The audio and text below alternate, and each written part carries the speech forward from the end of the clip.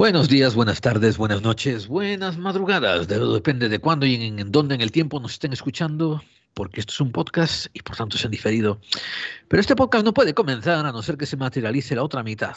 David Santizo, ¿estás ahí? Aquí estamos, Gerald, al pie del cañón, como siempre. Bien, bien, bien. ¿Tú has resucitado alguna vez? Mm, de momento no, y espero no morirme nunca. O que sepas, ¿no? bueno, no sé si alguna, después de alguna juega cuenta como resurrección. de estar tres días claro. con una gripe cuenta también como resucitar al tercer día. De esas unas cuantas también. Posiblemente cuente, ¿eh? no sé. O sea, sí, pero bueno, eso es muy subjetivo. Em, ¿Por qué? Porque estamos haciendo el especial de Navidad. ¿No? Qué guay. Eh, el especial de Navidad, y, vamos a traer a Óscar Fábregas a que nos hable de, los evangelios y cómo se han formado, porque vamos a ver, la cosa está muy, está muy común. Tened en cuenta que este programa se hace principalmente para una audiencia española, hay que decirlo. Ahora, intentamos hacernos internacionales, eh, ocupar eh, el mayor espacio posible, ¿no? expandirnos a la mayor cantidad de gente posible, que nos entienda la mayor cantidad de gente posible. Y dentro de nuestros grupos culturales, pues está la tradición de la Navidad. Y la tradición de la Navidad, tanto en España, pues como en Latinoamérica, pues, pues está muy arraigada. Y a pesar de que mucha gente dice que es una tradición milenaria, pues bueno, aquí uno lo discutiremos. ¿Sabes? Hemos hecho como... Bueno, milenaria es, o dos veces milenaria, ¿no? Concretamente, otra cosa es a dónde vamos, que cómo nace el mito y cómo se va modificando.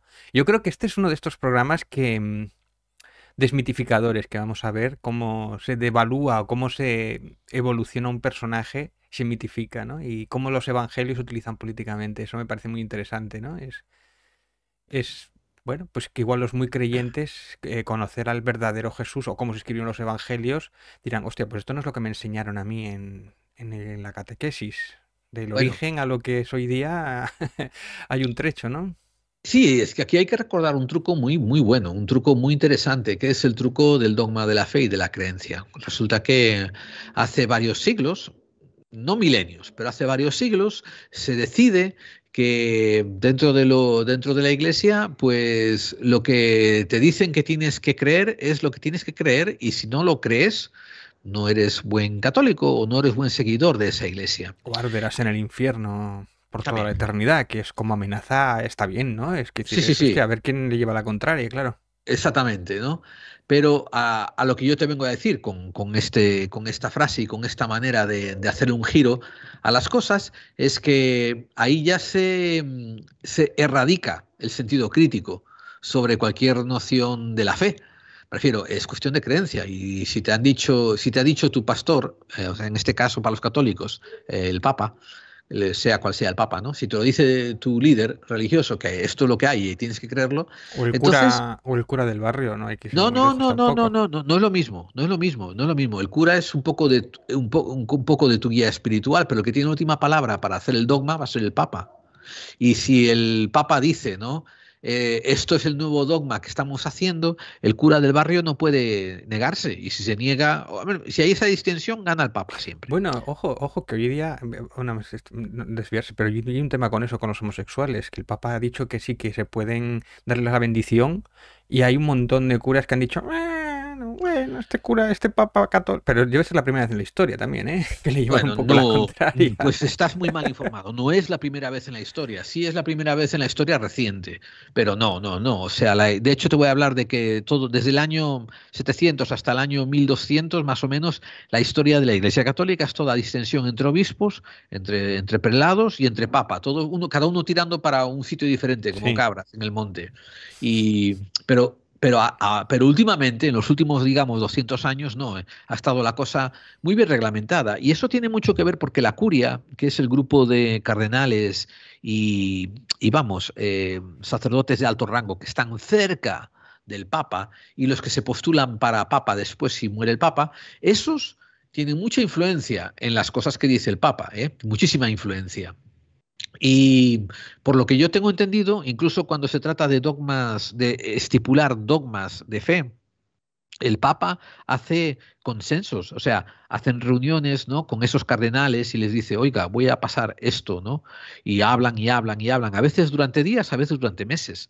Y después el Papa, pues, ¿no? Lo hace dogma o no lo hace dogma si han llegado a un consenso, porque como que hay necesidad de que el Papa reciba apoyo de, lo que es la curia, lo que es los, los altos sacerdotes que están alrededor de él.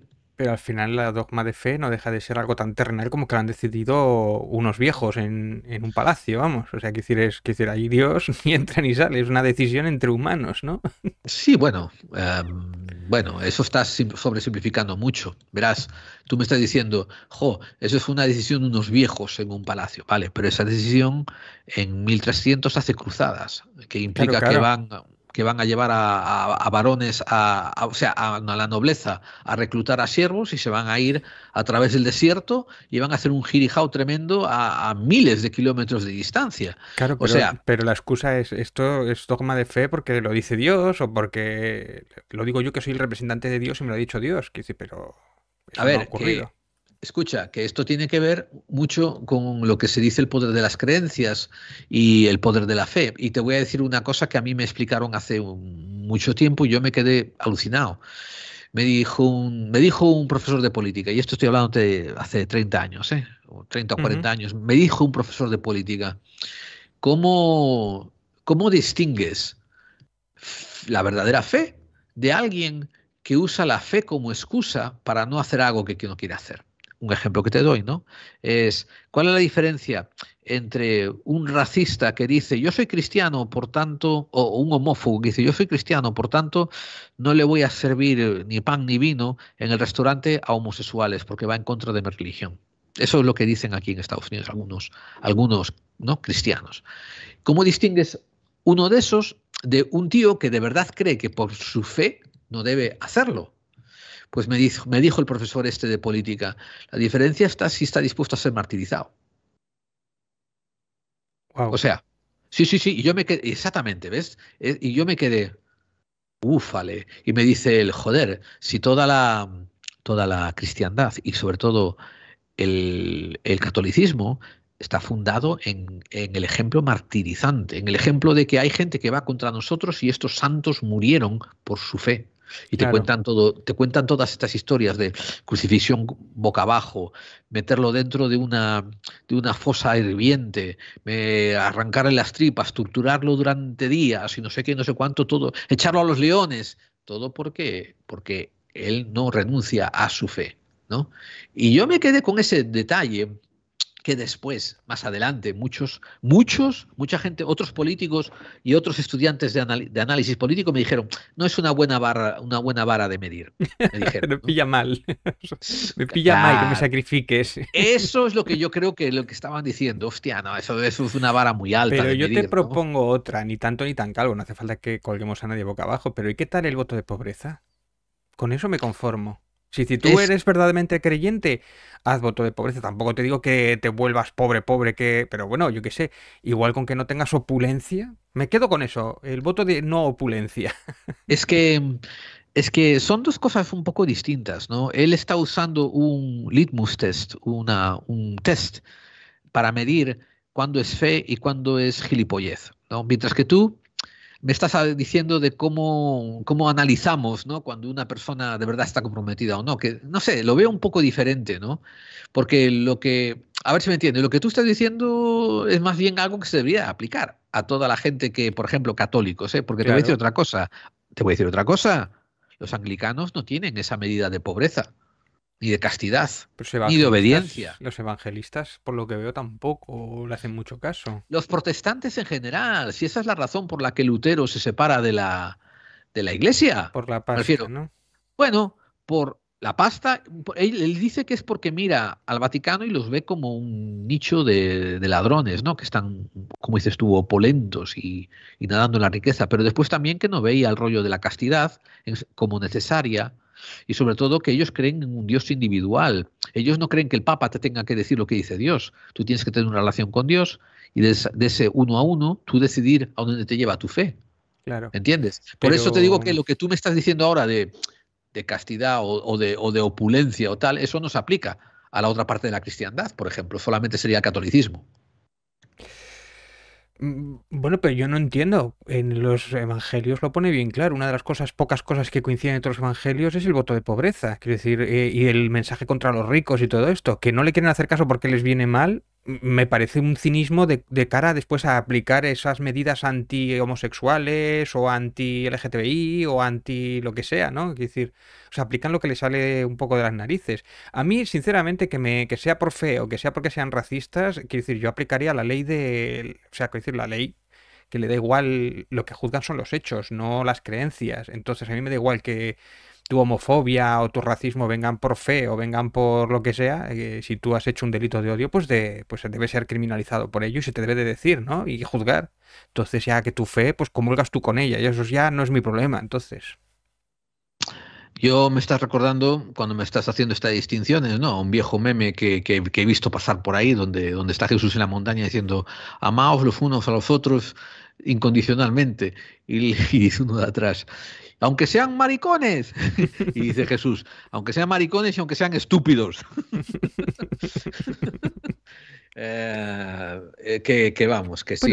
Eh, hoy hablaremos un poquito, pasaremos por soslayo, pero mm, algunos textos sobre la supuesta homosexualidad de Jesús también está como inducida ahí, está como. hay un poco de guerra ahí, ¿no? Yo no, quise meterme en ese tema cuando escribí mi libro porque no me venía bien narrativamente, pero ahí también hay un subtexto que a veces dices tú, mm, bueno. sí, sí, sí, sí, sí, sí, sí, sí, sí, sí, sí, sí, sí. Sí, sí, sé por dónde vas, ¿eh? Sé por dónde vas y, estoy de acuerdo contigo. Em, bueno, eh, otras cosas que podemos decir, y esto lo decimos cada año que hacemos el especial de Navidad, ¿no? El hecho de que los historiadores ya han dicho cientos de veces que, que, la Navidad probablemente no ocurriera el 25 de diciembre. Mm. Entonces, perdón, la Navidad en el concepto de la, de la natividad de Jesús. El, nacimiento de Jesús que no fue el 25 de diciembre, efectivamente. Correcto. Y lo hemos dicho también muchas veces anteriormente, que probablemente lo que había era cantidad de fiestas que después son consideradas paganas, pero que son fiestas autóctonas de cada lugar, donde celebran la transición del invierno a la primavera, lo que son los solsticios y el día más corto que pasa a ser el día más largo, ¿no? Que empiezan a, empieza a convertirse ya en días más largos, no el día más largo, sino días más largos. Eh, aquí en Estados Unidos lo acabamos de pasar ahora, me refiero, esto que estamos haciendo ahora es el 21 de diciembre, lo estamos grabando tú y yo al 22 para hacer el cierre, ¿no? Y aquí esto acaba de declarar que ayer fue el día más, la noche más ¿no? más, más larga y el día más corto de luz. Eh, pues eh, probablemente lo que había eran cantidad de fiestas, ¿no? Porque además, yo creo que tú y yo hemos hablado, ¿no? De decir, joder, imagínate que estás, yo qué sé, imagínate que estás en Escandinavia, allá entre los casquetes polares, ¿no? Y, y, estás deprimido y con hielo y que no hay comida, estás pasando hambre, estás comiendo lo que has guardado los últimos días de otoño, ¿no? Pues joder, viene bien una fiesta y viene bien meter luces y viene bien emborracharse y decir, ya, ahora empiezan ya a hacerse los días más largos, ¿no? Qué tremenda puta fiesta va a ser esto.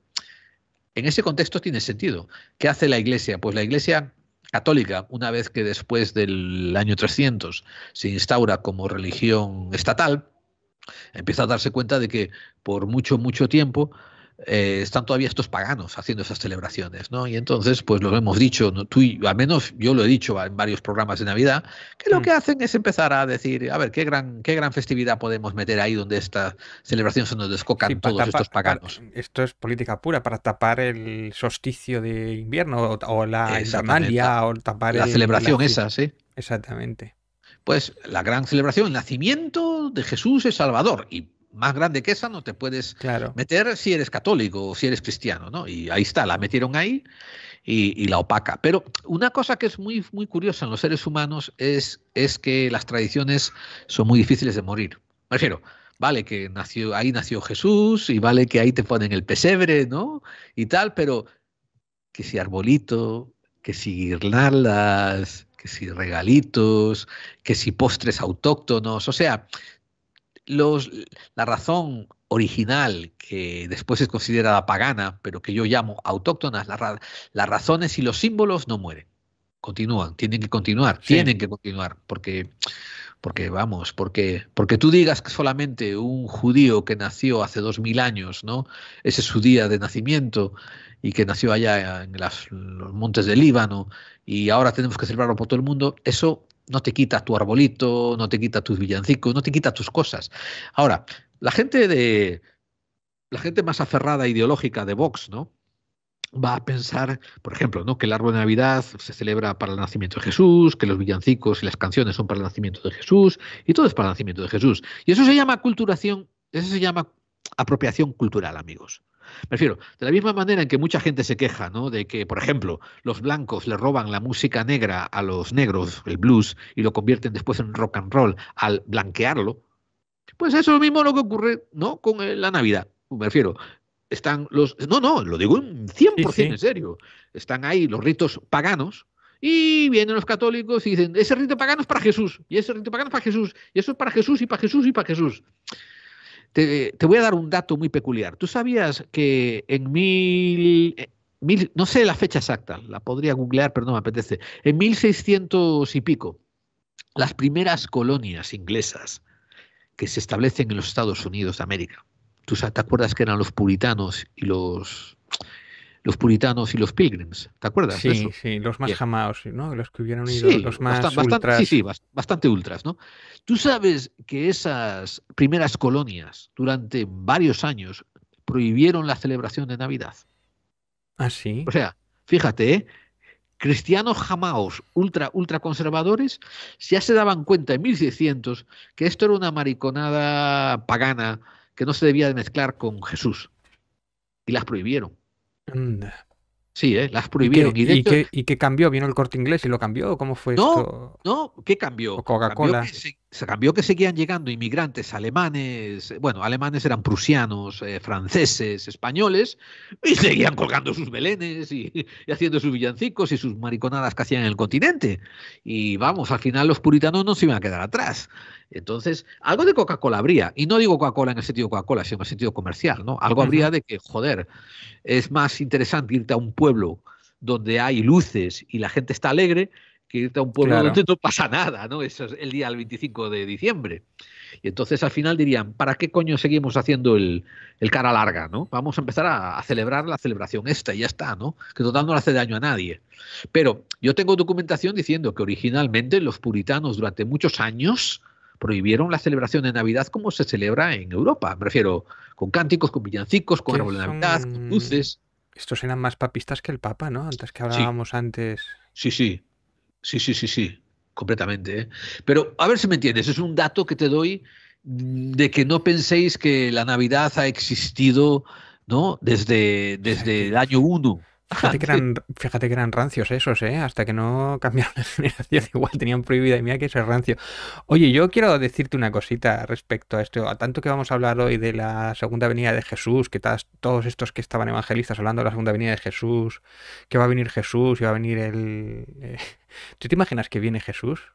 Y dice, voy a nacer en el mismo sitio que nací la última vez. Uy, uy, uy. Igual es uno de esos niños 2.000 o 3.000 niños que están muriendo en... o más de, o no sé cuántos niños están muriendo en Palestina. Igual era uno de esos. Y muerto por, por Israel, además, que estaban esperando también su segunda venida. O los evangelistas que están pagando el dinero a los israelitas porque piensan que que va a venir eh, Jesús y resulta que sí que vino, pero era entre esos niños palestinos, ¿no? Y se lo cargaron en el hospital que derrumbaron el otro día, que bombardearon el otro día, fíjate. Por ejemplo, por ejemplo. Joder, tío, qué, qué, bestia te has pasado ahí con esta imaginación, tío, que, es que en el sentido de qué buen punto que has dado, ¿eh?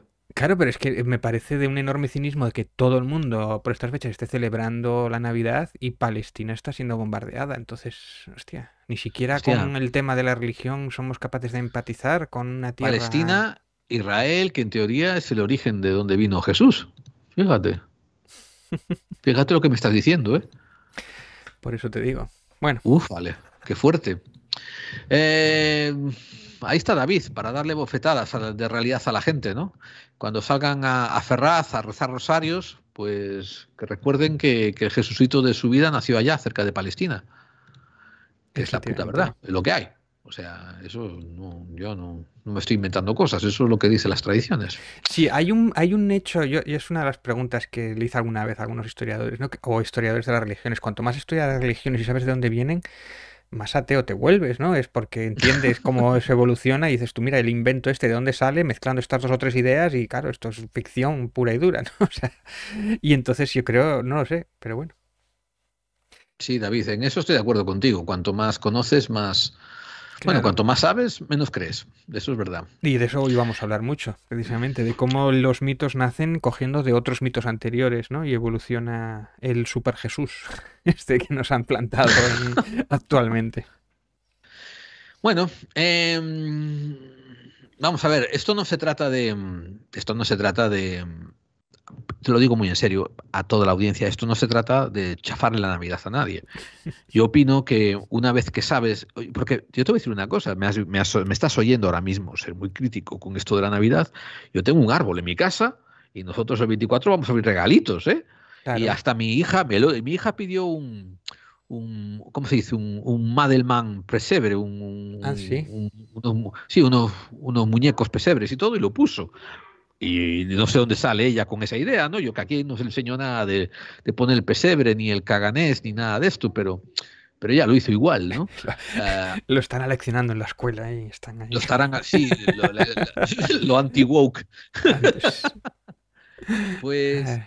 No, no, quiero decir que, que, no sé, pero, pero tampoco lo prohíbo ni tampoco lo combato.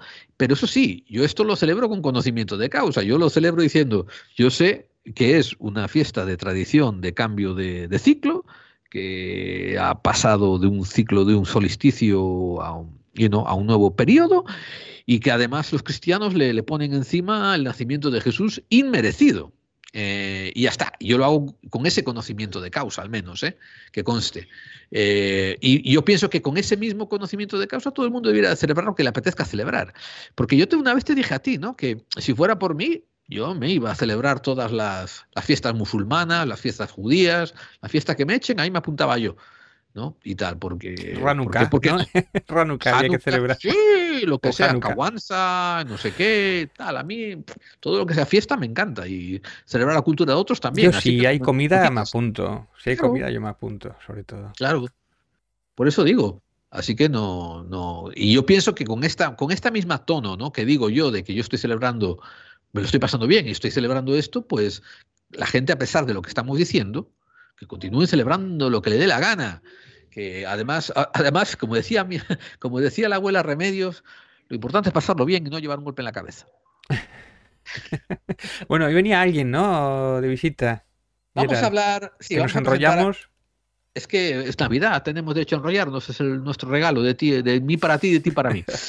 Venga, a ver si superamos las cinco horas. Pero sí, tenemos a, a alguien que ha venido, que además nos encanta que venga, es una persona tremendamente, eh, eh, o sea, muy, eh, muy culta, muy, muy docta y que además es una persona con la que da gusto hablar. Se trata de Oscar Fábrega, como anunciamos en el principio del programa. Oscar Fábrega es, el mismo se, autodenomina andaluz de nacimiento y ciudadano del mundo. El nombre Oscar Fábrega Calahorra, nacido en Almería, apasionado, apasionado por los misterios y es licenciado en humanidades amante de la, filosofía y antropología, y siente una especial predilección por la literatura y la historia. Eh, bien, puedes empezar a sacar libros, David, porque yo tengo, este, yo creo que tengo todos los de él. Bueno, me falta alguno que hizo con algunos, algunos de estos Klaus, que hizo con algunos alumnos o algo así. Dame un segundito para decir una cosa aquí. Esto, que él, además de ser el editor de la editorial Guante Blanco, hay una editorial que se llama Guante Blanco, podéis buscarlo en guante, guanteblanco.com.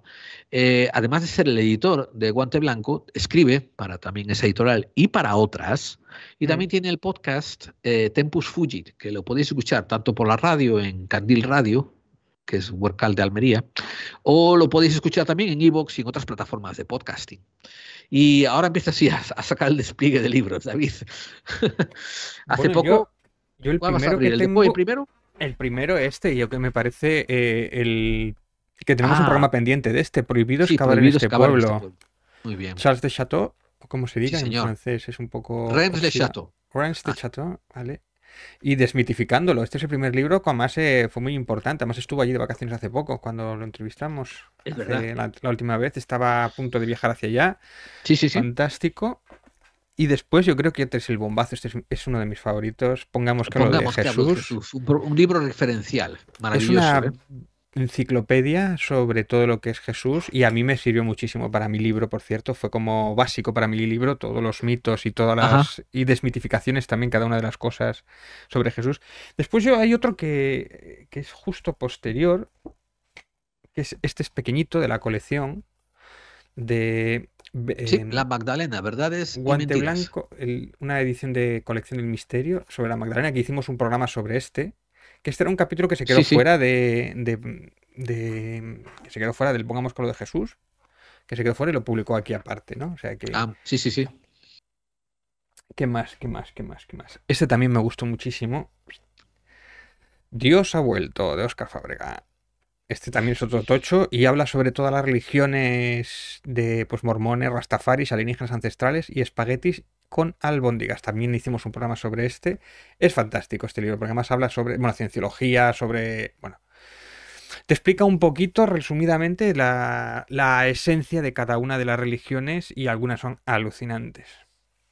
¿Qué más? ¿Qué más? Bueno, uno de los primeros que estuvo también aquí, este que también es fantástico, cambia un poquito de tercio, que es a propósito de Poe, Muy bien, muy bien. además, muy guapo este libro, una biografía aumentada y con los textos de Poe comentados, comentándolos, ¿no? Para analizar eh, pues toda la figura de Poe, que yo creo que nunca se había hecho a este nivel, ¿no? O sea, hay biografías, pero yo creo que este es como la primera parte es biografía, pero la segunda parte es el análisis Sí, sí. sobre la obra de Poe. Tiene después dos obras aquí que son una recogida de artículos Homo Insolitus 1 y 2. Ah, sí, los muy bien, muy bien. Este salió por Guante Blanco, ¿no? Sí, sí, sí. Además en una edición así más grande, curiosa, como una revista. Y son artículos de... De hecho, esto es lo que hace con Santi Camacho en su programa. Tiene la sección que se llama Homo Insolitus y saca artículos de aquí, los comentan o, o los analiza o les expone. Y artículos sobre el mundo fortiano, básicamente, ¿no? Y llevados por... analizados desde su punto de vista de historiador. Tengo este, que la historia de los cátaros, que fue el anterior, que sacó con Almuzara. Historia de los cátaros también. También. Muy que bien, igual muy otro bien, día sí, tiene sí, que sí. venir. Este- eh, con este también se ha recorrido toda la programas del misterio, Oscar Fábregas, hablando de los cátaros Ajá, ajá. y toda la mitología que hay alrededor. Y el último libro, este, básicamente, el Nuevo Testamento. Esto no estaba en mi libro del Nuevo Testamento, que es de donde vamos a hablar. Que, Claro. eh, pues básicamente analiza la figura de cómo se crearon. Que yo aquí había mucho, mucha mitología. Mm, ah, Hizo hace poco un programa en. en eh, hizo en varios programas de radio hablando sobre los evangelios y tal. Todo esto sobre que, que pensábamos que de verdad se habían tirado los evangelios a. que el Papa había tirado los evangelios canónicos y no canónicos y los tiró y los que quedaron encima de la mesa eran los que valían y los que no, no. Y no va a ser que no era así la Sí, historia. o sea que no era así. ¿no? Y, y yo pensé que era que algo de esto había, vamos, hombre, pensé que había habido un concilio o algo así, pero no, no, no, es mucho. Y esto es, esto desgranarlo yo no lo había oído nunca, entonces esto me parece como de repente, wow, como hay mucha más política dentro de estas decisiones de este libro sí, este libro no, este libro sí, o sea, aquí la Dios no tiene nada que ver, vamos, son armas políticas los libros, literalmente. Sí, pues antes de pasarle la, la batuta a, a, a Óscar Fábrega, eh, de traerlo aquí de invitado, abrir las puertas a nuestro estudio de la calle Skype, comentaré que hay dos libros más que quedaron en el tintero. Las reliquias y mentiras son reales de Óscar Fábrega, que están también en eh, Editorial Guante Blanco, y todos los lectores de este libro son idiotas, un proyecto filosófico que él hizo con jóvenes adolescentes y lo Claro, coordinó y, y está muy bien. Y yo lo leí en Kindle y muy, muy majo el libro ese. O sea que Óscar Fábrega, gran recorrido y sobre todo gran amigo del programa. Así que David, sin más, vamos a abrir las puertas de los estudios de la calle Skype, traemos aquí a Óscar Fábrega y empezamos a hablar sobre las cosas que no sabíamos del Nuevo Testamento. ¿Vamos allá? Perfecto, adelante. Bueno, amigos, después de esta presentación tan larga que hemos hecho, eh, la verdad es que el invitado, Óscar Fábrega, se la merece. Eh, se la merece porque no solamente es un grandísimo y grandísimo editor de libros de misterio, pero también tiene su, como hemos dicho, su propio podcast, eh, donde Tempus Fugit, donde nos enriquece con sus entrevistas a buenísimos invitados, eh, pero además él mismo es un historiador excelso y sobre todo generoso. Siempre que lo hemos invitado al programa, ha venido, nos ha dado unas charlas que son de cátedra y lo hemos pasado excelente con él. Eh, vamos, te, hola Oscar, ¿cómo estás? hola amigos, un placer, un placer estar siempre con ustedes y me siento como en casa. Además, entre otras cosas, porque estoy en casa ahora mismo, ¿no? Pero bueno, aparte me siento como en casa con ustedes. Así que la, magia, la magia del podcast, ¿no? Que te sientes en casa estando en casa. Eh, muchas veces David y yo fuera del micrófono te hemos comparado un poco, ¿no? En plan a Manuel Carballal, en el sentido de lo, de lo mucho que sabes, pero dentro de tu terreno, pero a la vez de lo afable, de lo, de lo próximo, de lo cordial que eres, ¿no? Y, de lo, de lo, del buen rollo que llevas con todo el mundo. Eh, a cada persona que le pregunto sobre ti, que nos encontramos, ¿no? Por hacer entrevistas, siempre dice, jo, qué bueno traer a Oscar Fábrega, ¿no? Y sé que lo dicen, no solamente por los temas que tú hablas, como digo, que, eres una persona que sueles caerle bien a todo el mundo. Eh, ¿Cómo lo haces? Oye, ¿cómo tienes ese don de gente, Oscar? No lo sé. Bueno, seguramente, sí, seguramente es porque no habéis entrevistado a las personas adecuadas, ¿eh? Seguro que, hay más de uno que, que, podría haber dado una opinión absolutamente negativa. No lo Pero sé. no, a, a, ver, yo qué sé, yo, yo intento escribir un poco como, como hablo, los que me conocen lo saben, ¿no? Y y no sé, yo creo que no mola nada llevarse mal con la gente. Creo que hay una palabra que me encanta y que la llevo practicando desde hace muchas décadas y especialmente desde hace unos cuantos años cuando ya me, metí en el mundo este editorial, que es sinergia. Es decir, cuando alguien merece la pena, tío, y alguien tiene algo que aportar, que lo que hay que hacer es sumarlo al equipo, ¿sabes? Y creo que en eso consiste el tema. Y aparte de eso, Em, y lo reconozco, no tengo ningún problema porque además lo he comentado muchas veces. Cuando, cuando yo hace ya como una década o así, empecé con este, este mundo de la divulgación de historia y demás, un mundo que desconocía por completo, conté con el apoyo, em, además impagable y, por supuesto impagado, de, de, varias personas que son grandes del misterio, que creo que me mostraron el camino a seguir, ¿no? Eh, y los digo quiénes son, son, fueron Jesús Callejo y Javier Sierra, imagínate que dos, ¿no? Que eh, Jesús Callejo, por ejemplo, aprobó, apostó por mi libro por periodos que habrá en este pueblo, con solamente habiendo, leído un capítulo del libro, eh, ya apostó por él, incluso me, propuso hacer él mismo hacerme el prólogo de ese libro. Y Javier Sierra, cuando salió el libro en formato papel, también eh, lo compartió en sus redes sociales. Y eso fue un espaldarazo brutal, ¿no? Para el comienzo de, de mi carrera como autor, ¿no? Y creo que en, ese mismo ejemplo creo que es eh, lo que yo de, algún modo pretendo seguir, ¿no? Es decir, em, todo lo que yo, todo lo que sea em, hacer levantar, hacer crecer a voces que tengan cosas que decir, creo que, hay que apoyarles, ¿no? Ya sea, eh, no sé, con el programa de radio y sobre todo con la editorial, si es que es posible. Eh, por eso muchas veces no entiendo los piques que hay en el mundo del misterio, ¿no? Que por desgracia hay, hay tantos. Creo que Em, con, el poder que algunos tienen y que incluso algunos podemos tener en, distintos grados. Se podían hacer cosas muy guapas y sin embargo de eso se crean pequeñas parcelas, eh, pequeñas, eh, pequeños, pequeñas sectas, incluso se podría decir endogámicas, en las que em, prácticamente no se puede entrar, ¿no? Es decir, si eres amigo de no sé quién, no te entrevisto en mi programa de radio porque ya no te junto, en plan niños chicos, ¿no? Yo creo que, que al contrario, que lo guay de esto es que somos familia que todos tenemos muchas cosas que decir, que podemos discrepar, que además en lo guapo está en discrepar, porque si hay un coñazo estás de acuerdo siempre en todo. Y, dejar sobre todo al, margen, pues eh, los rollos personales, envidias y demás, ¿no? Pero por desgracia somos humanos y al final eh, prima este tipo de cosas, ¿no? Pero bueno, ya os digo que, mi intención es intentar llevarme bien con todo el mundo, excepto con los que no se puede llevar uno bien, que son los que, los que todos sabemos, ¿no? Y no me refiero dentro del mundo del misterio, sino me refiero en el mundo en general, ¿no? Eh, porque evidentemente hay personas que no son respetables para, para cada uno. Yo hablo y me estoy metiendo directamente en temas de política. Hay cosas, hay líneas rojas que no se pueden pasar, eh, que, nunca mejor dicho, lo de líneas rojas, que no se, que no se yo todavía, pasar. Yo todavía estoy esperando a ver tu gran entrevista en Intereconomía y en el programa de Jiménez Los Santos. A, pues, a ver, Jiménez Los Santos la verdad es que me molaría, ¿eh? Con César Vidal, con César Vidal, otro con César Vidal, una, charla, una, charla, con César Vidal hablando sobre San Pablo estaría guay. Claro, claro, claro. Yo pues pagaría por verlo eso. Pues mira, me pasó una cosa muy curiosa, que lo cuento aquí en Petit Comité, ya que no lo escucha ni lo ve nadie. Eh, cuando salió tampoco, el libro... no, tampoco así, tampoco tan pobre. y el libro de los catálogos, eh, pues la editorial lo mandó a un montón de medios y demás, ¿no? Y se pusieron en contacto conmigo, una gente ¿Ah, de una... No sé si era una, un periódico digital, una revista digital católica, Ah, ¿sí? yo imagino que ellos daban por hecho, claro, si este va a hablar de herejía, pues esto está en nuestro equipo, ¿no? Y claro, me entrevistaron sobre el libro y claro, yo hice una, una contundente apología de, de, los, cátaros.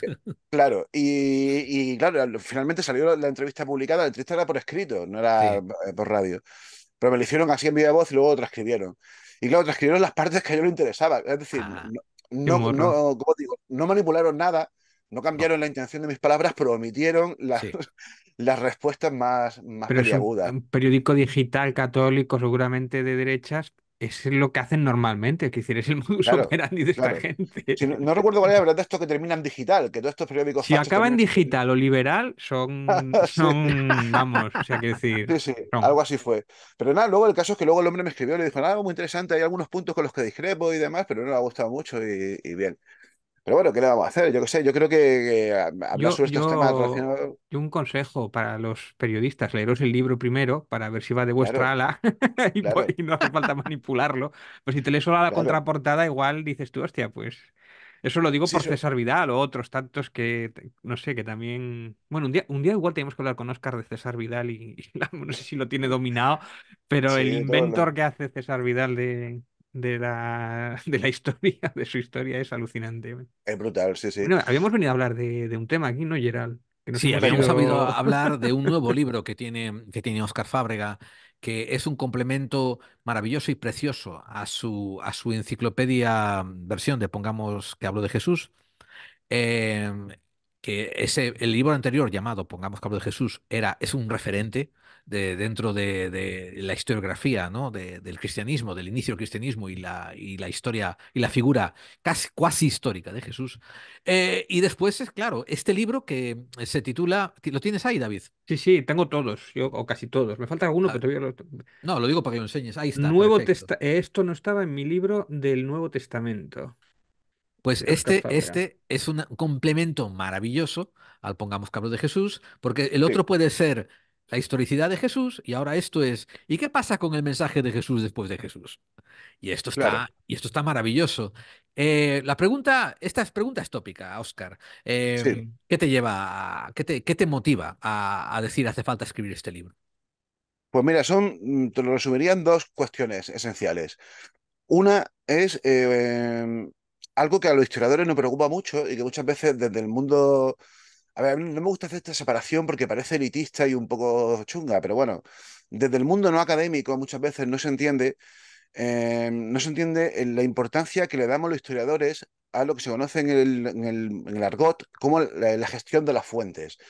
Es decir, eh, cuando uno lee un libro académico, generalmente, sobre cualquier tema, además, eh, suele haber un largo, una larga, a veces extensísima introducción en la que primero se hace un, un análisis sobre los conceptos a emplear, que suele ser bastante coñazo, y luego se analizan las fuentes que se usan para ver primero la validez que tienen para, eh, que se puedan eh, considerar fuentes históricas. ¿no?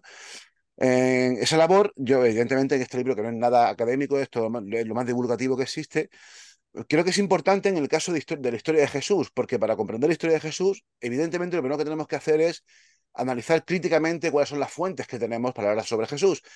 Por desgracia, como ya sabemos, hay muy pocas fuentes extracristianas y eh, las que hay son dudosas y además aportan muy poco, o sea que realmente no son válidas, más allá de que sirven para testimoniar que por lo menos a finales del siglo I ya había historiadores que hablaban sobre la existencia de Jesús, poco más. Así que para poder intentar reconstruir su vida, y yo, porque yo partimos de la existencia de un personaje real, evidentemente, sobre el que se construyó un relato legendario que es el Cristo de los Evangelios, solamente contamos prácticamente con los cuatro Evangelios canónicos, algún apócrifo, em, los Hechos de los Apóstoles y como mucho algunas de las cartas de Pablo, pero como mucho.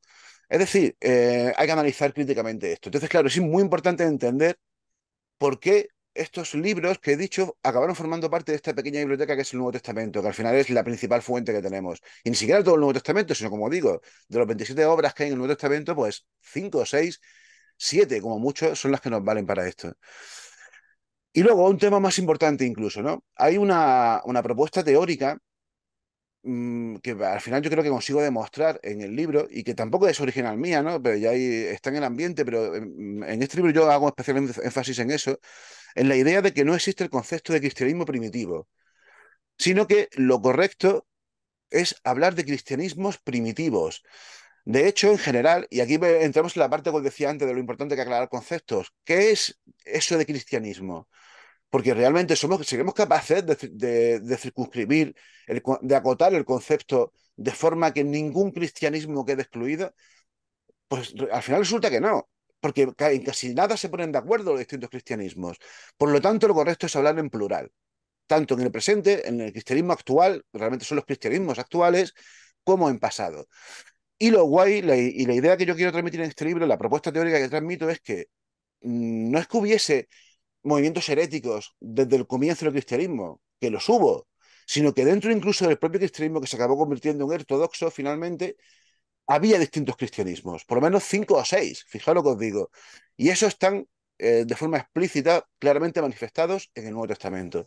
Y este idea me parece muy sugerente porque eh, primero rompe una, un, un, adagio, un leitmotiv muy típico, ¿no? que procede de, la fuente de descreídos y ateos con, no demasiada formación, que suelen argumentar que la historia, eh, o sea, perdón, que la Iglesia manipuló la historia a su interés para crear una ortodoxia.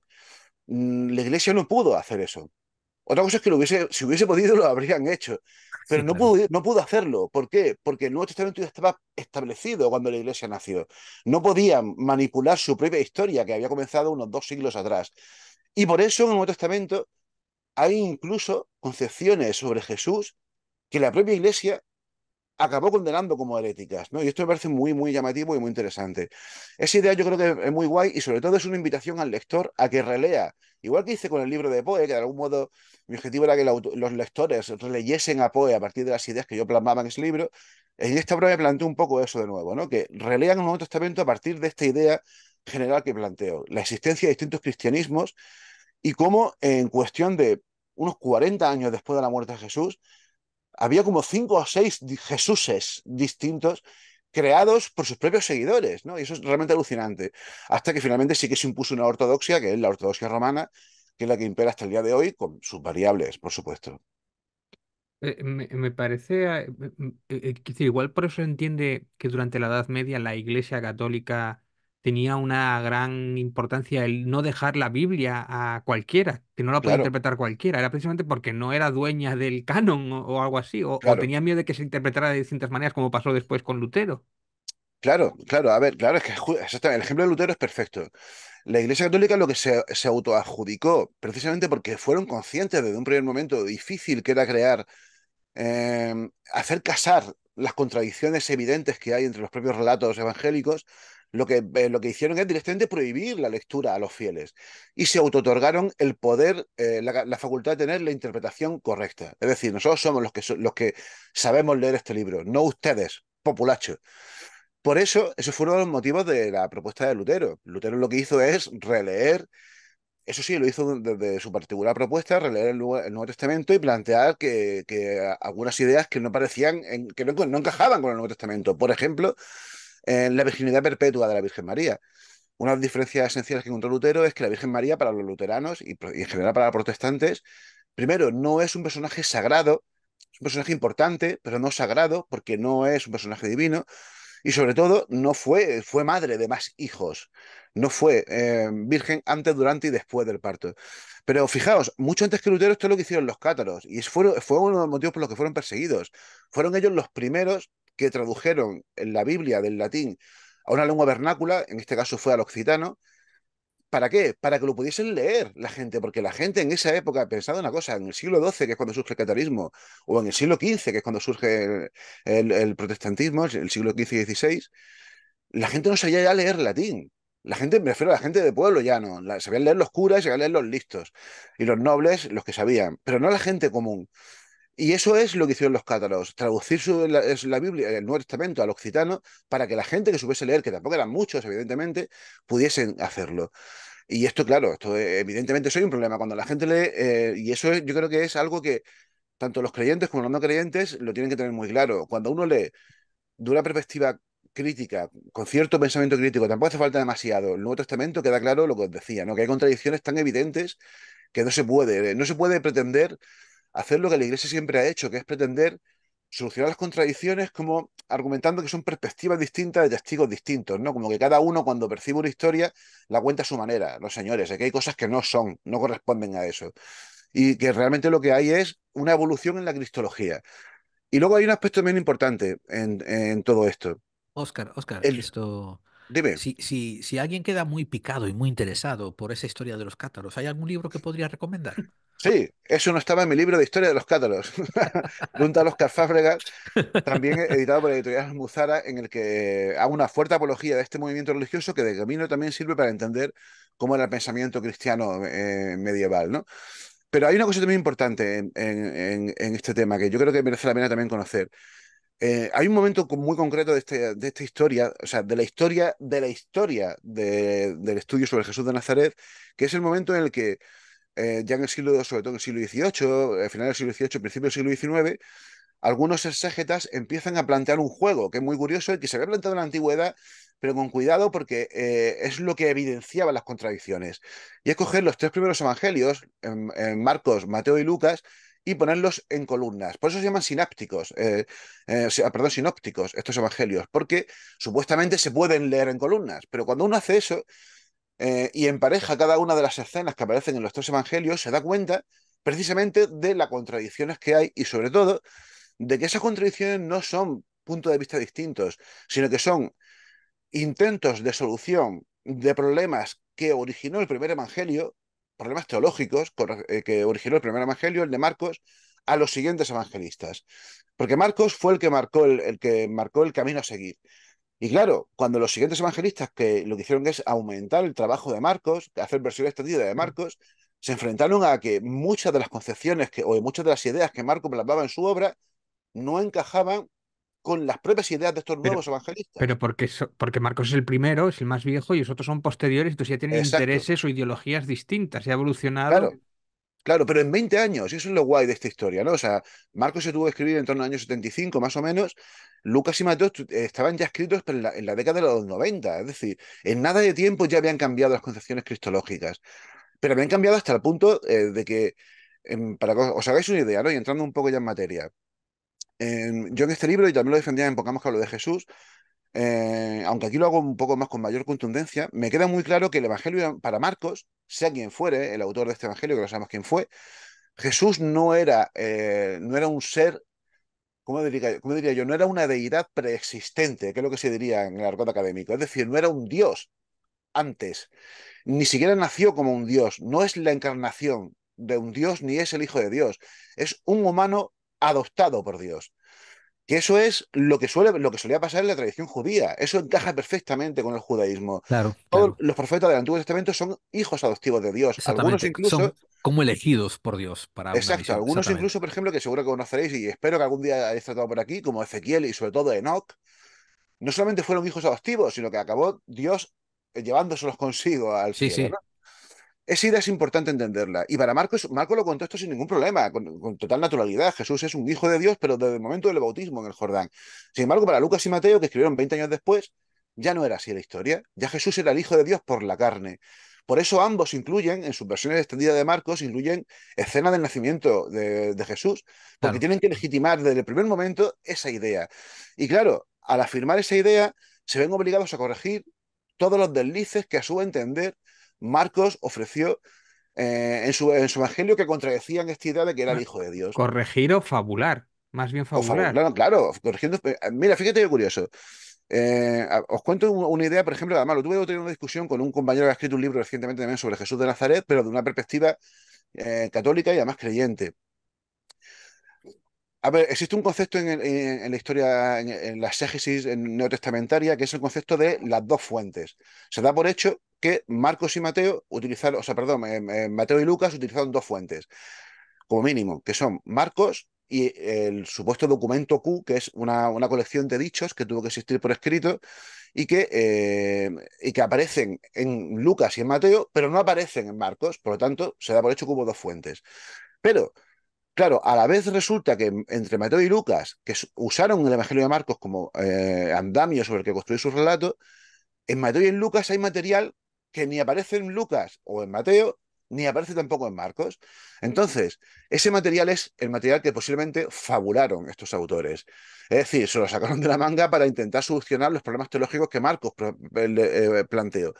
Y, eh, sin embargo, la historiografía católica, en la, exégesis católica, que la hay, y además son muy buenos también, hay muy buenos estudiosos dentro del catolicismo, para explicar esto, como no pueden usar la palabra fabular, que es la correcta, se sacaron de la manga eh, los conceptos de la fuente M y la fuente L, que son fuentes supuestas que ambos autores tenían y que probablemente eran tradiciones orales o incluso escritas, que eso explica las divergencias que hay entre, entre, entre Mateo y Lucas. Pero claro, las divergencias son brutales, empezando por la propia historia del nacimiento de pero Jesús. porque tienen que defender ese canon, porque lo lógico es eliminar las fuentes más, más, o sea, más alejadas, quedarse con el primer eh, evangelio. Sería lo lógico, ¿no? Exacto, claro. Claro. Y por eso también la iglesia desde la más remota antigüedad alteró el orden a sabiendas, ¿eh? porque lo sabían, que alteró el orden de, publicación de los evangelios. Por eso siempre se publicaba primero Mateo. Y se consideraba que eh, de algún modo Mateo era el, evangelio más antiguo y que eh, Marcos y Lucas se inspiraron en Mateo, en parte. ¿Por qué? Precisamente por eso, porque claro, ahí ya no existía esta secuencia de corrección, que es la que yo estoy comentando, ¿no? Y luego, claro, luego está el cuarto evangelio, que es el más raro de todos, y en, el que más, sobre el que más debate académico existe hoy en día, que eh, sobre todo porque no está muy claro si eh, realmente el autor de ese evangelio conocía sobre todo a Lucas y Mateo, probablemente sí que conocía a Marcos, o si utilizó alguna otra fuente perdida hoy en día, que quizás sea un evangelio mucho más antiguo, quizás tan cercano a, la, cronológicamente hablando, a Q o a Marcos, o si es una pura invención, ¿no? Mm, hay un camino medio, que es un poco lo que yo defiendo en, este libro y en general, que es la idea de que probablemente hay una tradición muy antigua asentada en el Evangelio de Juan, el cuarto Evangelio, quizás no sé si por escrito, pero sí bastante extendida, y que a la vez también eh, eh, el autor de ese libro, que era un autor que ya sí que era un literato, a diferencia de los tres evangelios sinópticos, ese autor sabía escribir. Es decir, era un, buen escritor y sobre todo un buen filósofo. Se notaba que estaba muy embuido en el, ambiente neoplatónico que había eh, en, ese momento. Por eso se considera que lo escribió Juan, porque supuestamente Juan estuvo en Éfeso y estuvo en Grecia, y estuvo entre los gentiles y estuvo aprendiendo filosofía, ¿no? Pero no fue así. En ese evangelio, además, es donde ya eh, se vuelve a corregir a los, a los anteriores al plantear que ya Jesús no es el hijo adoptivo de Dios, ni es el hijo carnal de Dios, sino que es Dios en sí, es una emanación de Dios, es el logos, el verbo hecho carne, aunque eh, lo correcto sería más que el, verbo hecho carne, el orden hecho carne. Es decir, fijaos, aquí ya tenemos tres cristianismos distintos. Tenemos el cristianismo de Marcos, que posiblemente está más cerca del auténtico, sin que realmente lo tenga por qué ser así, pero sí que es el que evidencia que es la, la génesis del cristianismo paulino, los dos de Lucas y Mateo, que más o menos son parecidos, es un cristianismo similar y el cristianismo de Juan que no tiene nada que ver, es otra cosa absolutamente distinta, ¿no? Y, eso aprovecho, en 30 años. Aprovecho para hacer una preguntita, ¿no? Em, sabes que, claro, hay atribución de que el, el, Evangelio de Mateo, el Evangelio de Marcos, el Evangelio tal, pero me refiero, se cree a nivel historiador, ¿no? Que esos discípulos ni siquiera fueron los que escribieron eso, ¿verdad? O, se cree que sí. No, claro. Pero a ver, es que esto, esto lo sabe hasta la propia iglesia. O sea, yo lo tienen muy claro también. A ver, hay que tener en cuenta una cosa. La iglesia, como en tantas otras cosas, en esto eh, hace trampa. En el sentido de, una cosa es lo que la iglesia le dice a sus fieles, que yo entiendo que tampoco tienen por qué entrar en discusiones bizantinas, y otra cosa es los que los sabios de la, de la iglesia, y no me refiero a los sabios de la antigüedad, que también, sino me refiero a los sabios de los dos, tres últimos siglos, los exégetas cristianos, han, ah, han concluido Existen libros buenísimos de, de cristianos que tienen muy claro que ninguno, los evangelios no escribieron ninguno de estos señores. Como mucho, van más allá y plantean que las comunidades en las que se escribieron estos libros fueron comunidades fundadas o que le guardaban especial cariño a algunos de estos señores, y lo que hicieron es hacer un, un proceso pseudoepigráfico, que es como se conoce en historiografía, cuando alguien eh, ¿Qué os digo yo? Es, por ejemplo, como si el, amigo de David, cuando publicó Caballo de Cartón, pues pone Caballo de Cartón, escrito por JJ Benítez. Y se, lo atribuye a Benítez porque considera que así le va a dar más legitimidad a esa obra, ¿no? Eso es lo que hicieron. Yo ni siquiera creo que sea así. O sea, creo que simplemente es un intento que hubo en el siglo II de legitimar esos libros porque ya estaban asentados en la tradición al legitimarlos de cara a los feligreses, dándole un valor añadido, dándole Pero- una autoridad. Pero. Oscar, ahí yo en el libro intuyes que es como eh, este libro que lo he modificado alguien por algún interés, es como que es válido porque lo ha escrito pues Marcos o Lucas, Claro, y como lo dice aquí, pero me favorece a los intereses. No sé si me explico. Es como que aparece Claro. este texto, y pero se utiliza eh, políticamente o como arma arrojadiza contra otros Claro. cristianismos. claro, claro, porque a ver, hay una cosa, hay una cosa importante, ¿no? Eh, el proceso de, eh, de reflexión sobre los textos cristianos surgió de casi del primer, momento.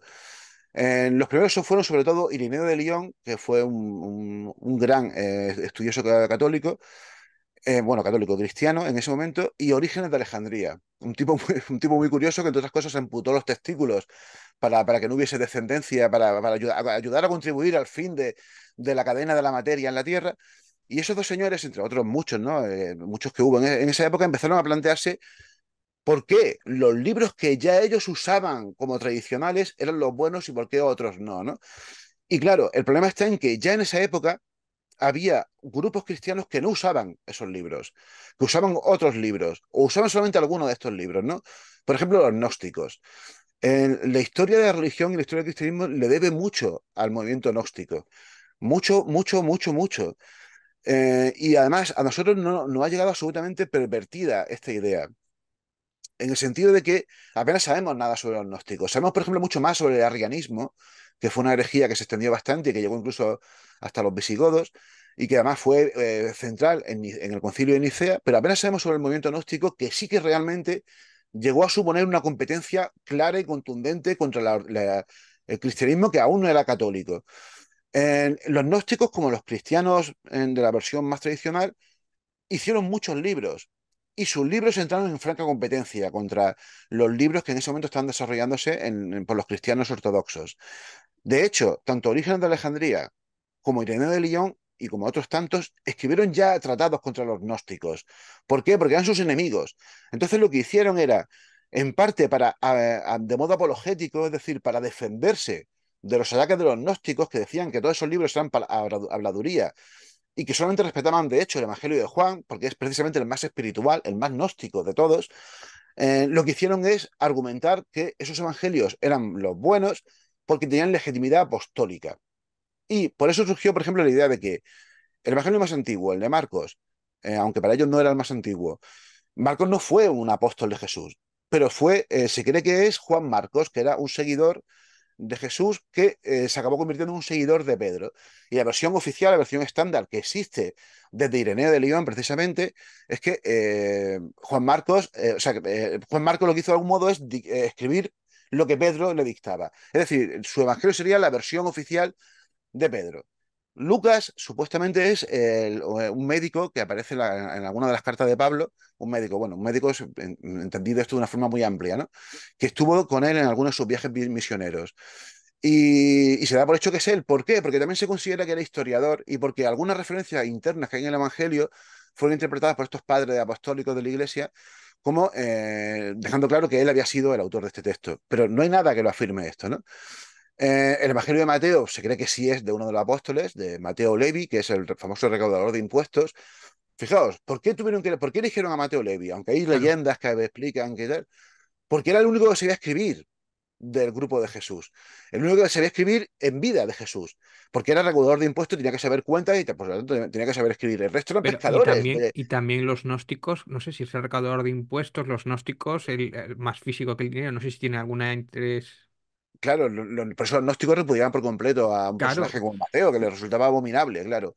Y luego Juan, el Evangelio de Juan se le atribuye a Juan porque, y es una cosa que de la más remota antigüedad y que se tenía clara, ese libro es muy tardío, se, se publicó posiblemente sobre el año 100 o el 95, el año 100 aproximadamente. Y claro, si, si fue alguien que conocía a Jesús en vida, tenía que ser muy mayor. Y como la tradición decía que Juan era muy joven y que posteriormente había estado con la Virgen en Éfeso y que había muerto muy mayor, pues eh, se dijo que, es, eh, que ese era el autor. Pero al final es lo que tú decías, David, es decir, el que se identificasen estos autores con personajes de tanta importancia fue precisamente fue eh, en, un- en una guerra, en una guerra contra, sobre todo contra el gnosticismo, para legitimar sus textos por encima de aquellos otros textos. De hecho, fijaos, el primer canon que existe, que tuvo que mm, plantearse sobre el año 110, 120, 140, más o menos, es lo que se conoce como el canon de Marción, que era un, gnóstico que llegó a tener mucha influencia en Roma y que fue el primero que publicó un volumen eh, de obras del Nuevo Testamento, pero solamente incluía el Evangelio de Lucas, curiosamente, quitando la parte del principio, la parte del nacimiento de Jesús, y diez cartas de Pablo, porque para este señor el auténtico eh, transmisor del Evangelio de Jesús era Pablo. Luego, si queréis, veremos por qué, pero era Pablo para este hombre. Y esto, ese Evangelio de Marción que llegó a circular por Roma incluso y que llegó a tener bastante importancia, es lo que motivó a que otros padres de la iglesia, por ejemplo, estos dos que he dicho, Orígenes y René de León, pero también San Jerónimo, también bueno, muchos más, San Ambrosio, empezasen a plantear la necesidad de crear un canon también del Nuevo Testamento. Y cada uno de ellos en sus escritos lo ofrecía un poco a su manera.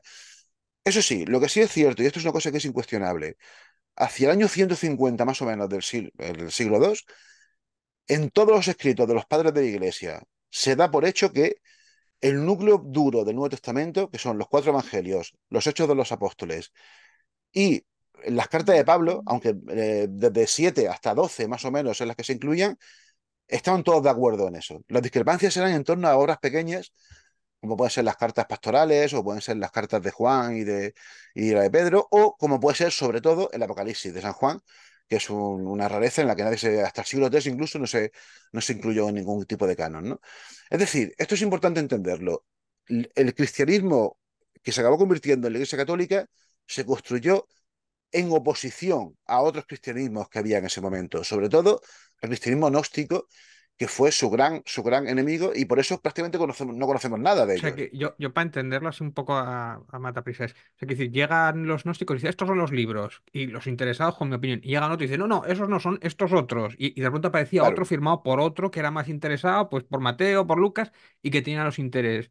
Pero después también hay un personaje que es el de Judas, que aparece muy tarde, y, y que es como, precisamente también un poco como para joder a los, a los gnósticos, y aparte legitimizar eh, o, o quitarle, quitarle la responsabilidad a los, a los romanos de haber matado a Jesús. Claro. Y No aparece muy tarde, eso. pero no en los primeros. Y es como, hostia, qué, qué, qué, qué- bien coloca este personaje para acercarlo a tu sas- la, las a tu sardina, ¿no? O sea, claro. Pero fíjate qué curioso lo que pasó con Judas. Los gnósticos hicieron lo- exactamente lo mismo que habían hecho los católicos, los protocatólicos, con ellos, con Judas. Lo llevaron también a su terreno y acabaron lanzando el Evangelio de Judas, que es también su versión gnóstica de esta historia, ¿no? A ver, hay una cosa que es importante tener en cuenta en todo esto, para entender también el papel de, de- los, judíos, de, de Judas y demás, y de los gnósticos. Los gnósticos estaban convencidos de que Jesús no se había encarnado. No, era un ser divino, un ser divino que había bajado aquí simplemente para ofrecer una revelación de cómo conseguir el camino de la salvación, que básicamente consistía en un camino de introspección interior, de conocimiento de sí mismo, por eso era lo de Noxis, conocimiento de uno mismo para encontrar nuestra esencia divina y escapar de este mundo de la materia. Por eso mismo ellos no podían eh, creer nada, casi nada lo que decían los evangelios, porque lo que decían era todo, eh, hablaban de una persona física, que comía, que hablaba, que tocaba a la gente, no podían creer en eso. Por eso ellos le dan mucho más importancia, sobre todo al Evangelio de Juan, en el que Jesús también hace todo eso, pero a la vez es como un ser más etéreo, es un ser más divino, es, es- está medio camino entre el gnosticismo y demás. Eso por un lado. El personaje de Judas. El personaje de Judas es un personaje eh, bastante extraño y probablemente es un personaje que no existió, eh, porque no acaba de encajar en nada, ¿no? Parece más bien una construcción teológica para, que no tiene mucho sentido, pero que sobre todo a, a Marcos, que fue el que posiblemente lo creó, le vino muy bien para culpar a los judíos de la muerte de Jesús, para, mejor dicho, para ahondar en la culpa de los judíos de la muerte de Jesús y contribuir a exonerar a los romanos de esto mismo. ¿Por qué? Porque Marcos, ese evangelio, estamos, eh, existe un amplio consenso hoy en día que probablemente se escribió en una ciudad muy helenizada, muy romanizada. Se ha hecho que pudo ser en Alejandría, pero hay quien defiende que pudo ser en la propia Roma. Sea como sea, ese libro no estaba destinado al pueblo judío, ni al público judío, ni al lector judío, sino al lector romano. Y evidentemente, si tú quieres vender la idea de un hijo de Dios, Salvador, que ofrece un camino de salvación de forma mucho más eficaz y más barata que los cultos mistéricos que triunfaban en Roma, no puede ser que en, en la obra en la que, sobre la que se construye ese culto, el personaje protagonista, el, el Dios, acabe siendo asesinado por los romanos. Y ahí eh, Marcos, que fue el, primero, fue el primero seguramente que confabuló para exonerar a los romanos y culpar a los judíos. Y lo hizo de muchas maneras.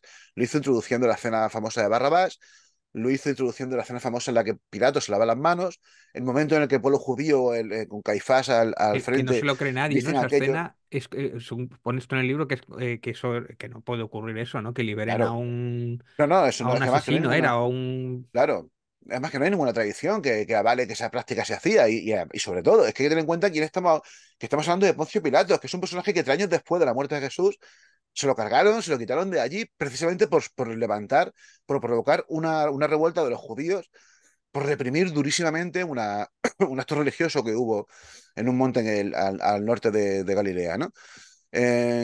Y, y, esa es la idea, por eso lo decía el personaje de Judas, era incluso para ir más allá y para decir que incluso alguien de la máxima confianza de Jesús, que llegó a ser uno de los suyos, lo acabó traicionando, ¿no? Como diciendo, fijaos qué malos son los judíos, sí. que hasta, hasta en este momento te la lían, ¿no? ¿Qué es lo que hicieron los gnósticos? Y esto es muy guay, porque además el Evangelio de Judas es algo que se puso, eh, se puso muy de moda hace unos años cuando se descubrió completo, porque se encontró en, en Nag Hammadi en el 54, se encontró parte de, de este documento, pues se han encontrado otros, otros manuscritos y finalmente está hoy en día completo. Los gnósticos racionalizaron el personaje de Judas y como en todos sus libros, a ver, en todos los libros gnósticos, consisten en revelaciones que Jesús, después de muerto, les, eh, les entrega a sus discípulos. Y siempre es, eh, hay distintos discípulos que son los que reciben esas revelaciones. Por eso está el Evangelio gnóstico de Tomás, pues es Tomás. El Evangelio gnóstico de Santiago, o de Judas, o de María Magdalena, que también lo hay. Bueno, en el Evangelio de Judas, es Judas el que recibe esta revelación. Pero, curiosamente también, hay, es uno de los pocos evangelios gnósticos en los que se cuenta algo de la historia de Jesús. Y se cuenta que Jesús lo eligió precisamente a Judas para que le traicionase. Es decir, sí. era un acto pensado, eso, ¿no? Es, pero ¿por qué? Pero eso es darle, es, perdona, eso es darle la vuelta al guion. Es decir, esto es como. Claro, claro. O sea, es como claro. vamos a hacer. Es, es, que es un giro de guion absolutamente. Es un giro de guion brutal, tío. Un giro, claro, claro. ¿Y por qué lo hicieron así? Como te he dicho antes, ellos pensaban que Jesús no se había encarnado. Entonces, claro, lo que tenía que hacer Judas es evidenciar eso. Que eh, por mucho que quisiesen matar a Jesús, a Jesús no lo pudieron matar. Por lo tanto, los judíos son culpables de la muerte de nadie, porque Jesús no pudo morir realmente. Pero, ¿no? y Pablo también. Es decir, estás hablando de, de, de, eso, de liberar a los judíos, pero tampoco era el pensamiento de Pablo, porque Pablo, eh, o sea, yo, o, o, o, lo entendí yo, yo de otra manera, que decir, incluso los que eran esos cristianismos primitivos, pero eran judíos, no eran claro, ni siquiera claro. cristianismos, dice que eran, igual no al 99%, pero, pero mucho, quiere decir, no, no es que rehuyeran de lo, o sea, no, no, se le hubiera ocurrido a Pablo echarle la culpa a los judíos no, de la muerte claro de Jesús. No. De hecho, a la, igual a los dice... discípulos de él, igual empezaban, sí. no lo sé. Claro, así fue. De hecho, Pablo no echa, no culpa en ningún momento a los judíos de la muerte de Jesús.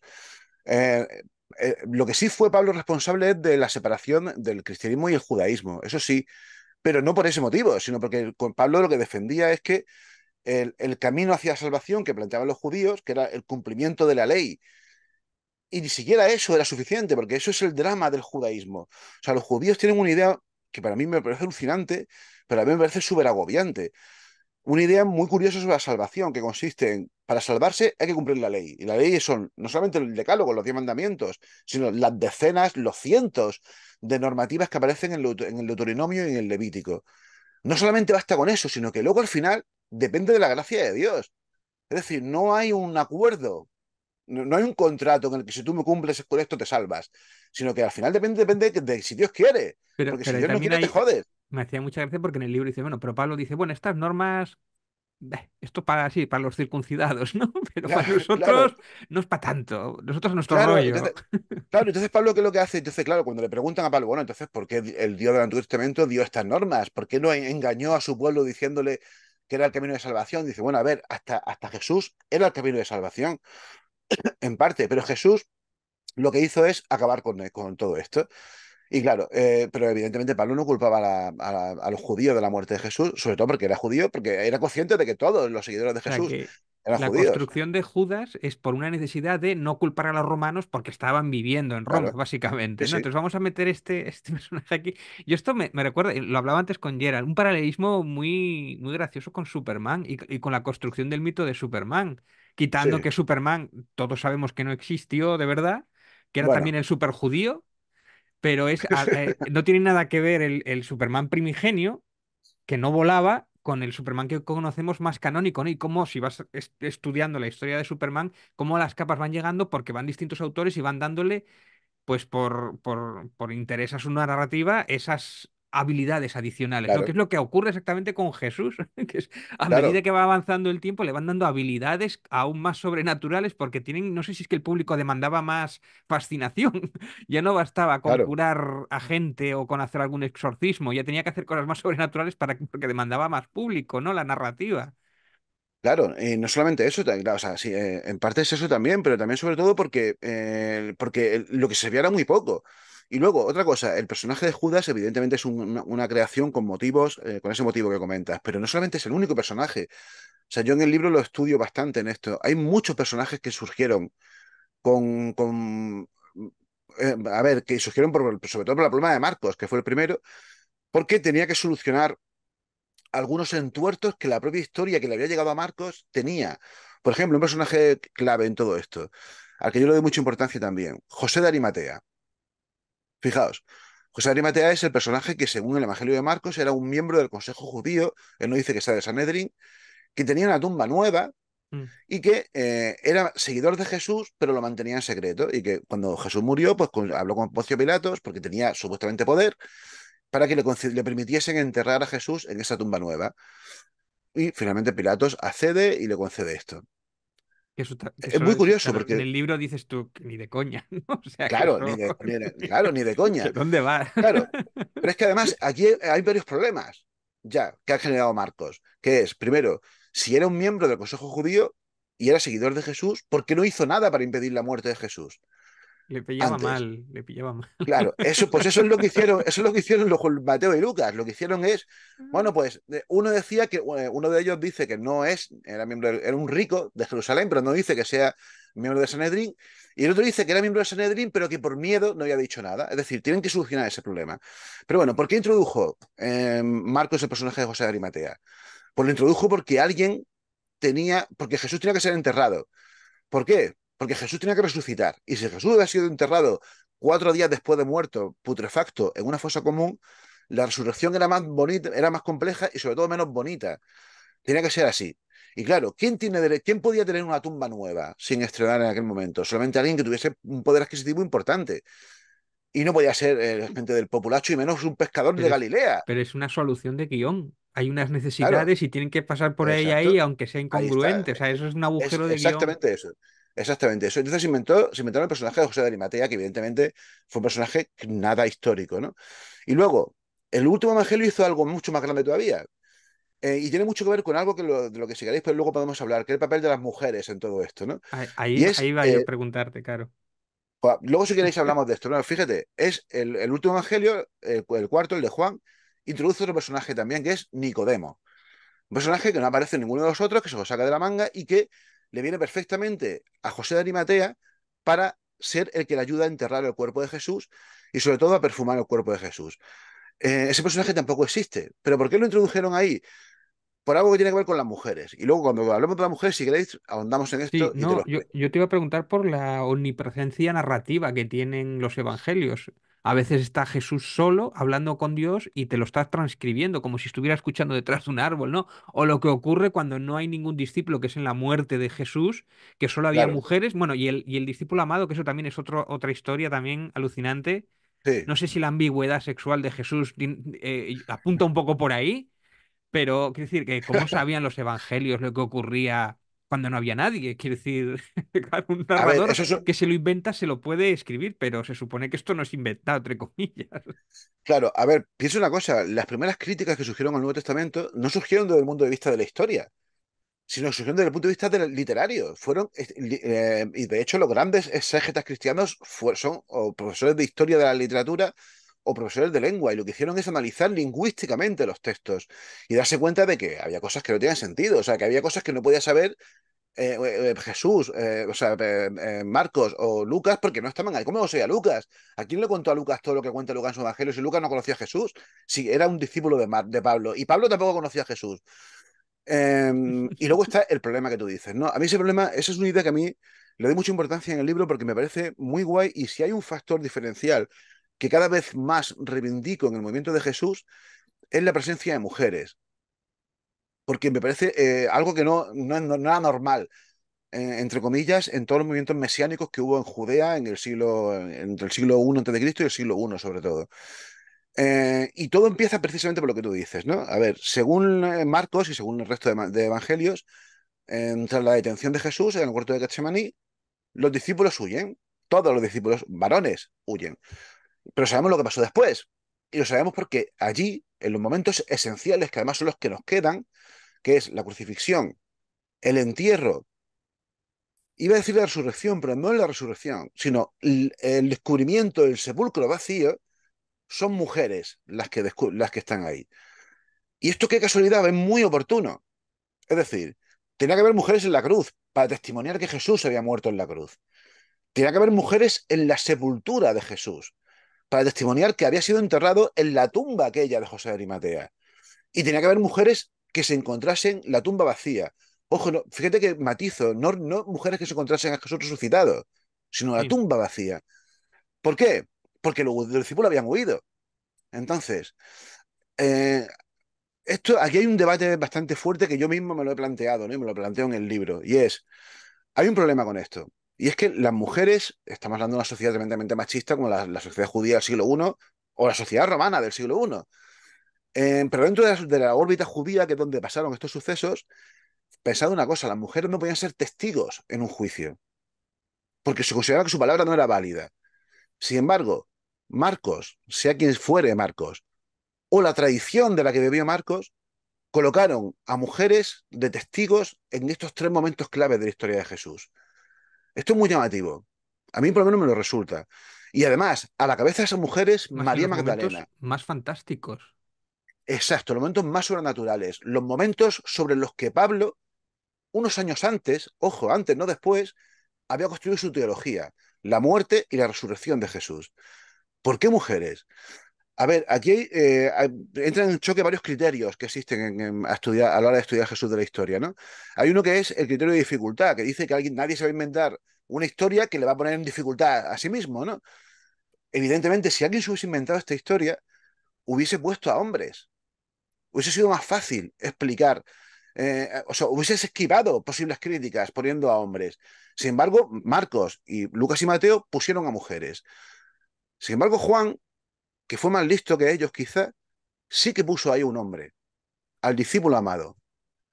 Y puso a otro hombre testigo, aparte de José de Arimatea, del entierro, a Nicodemo. ¿Entendéis? Por eso eso es una de de que posiblemente eh, Marcos no conocía las obras de Lucas y Mateo. Posiblemente conocía, o sea, perdón, Juan no conocía la obra de Lucas y Mateo. Y posiblemente de una tradición anterior.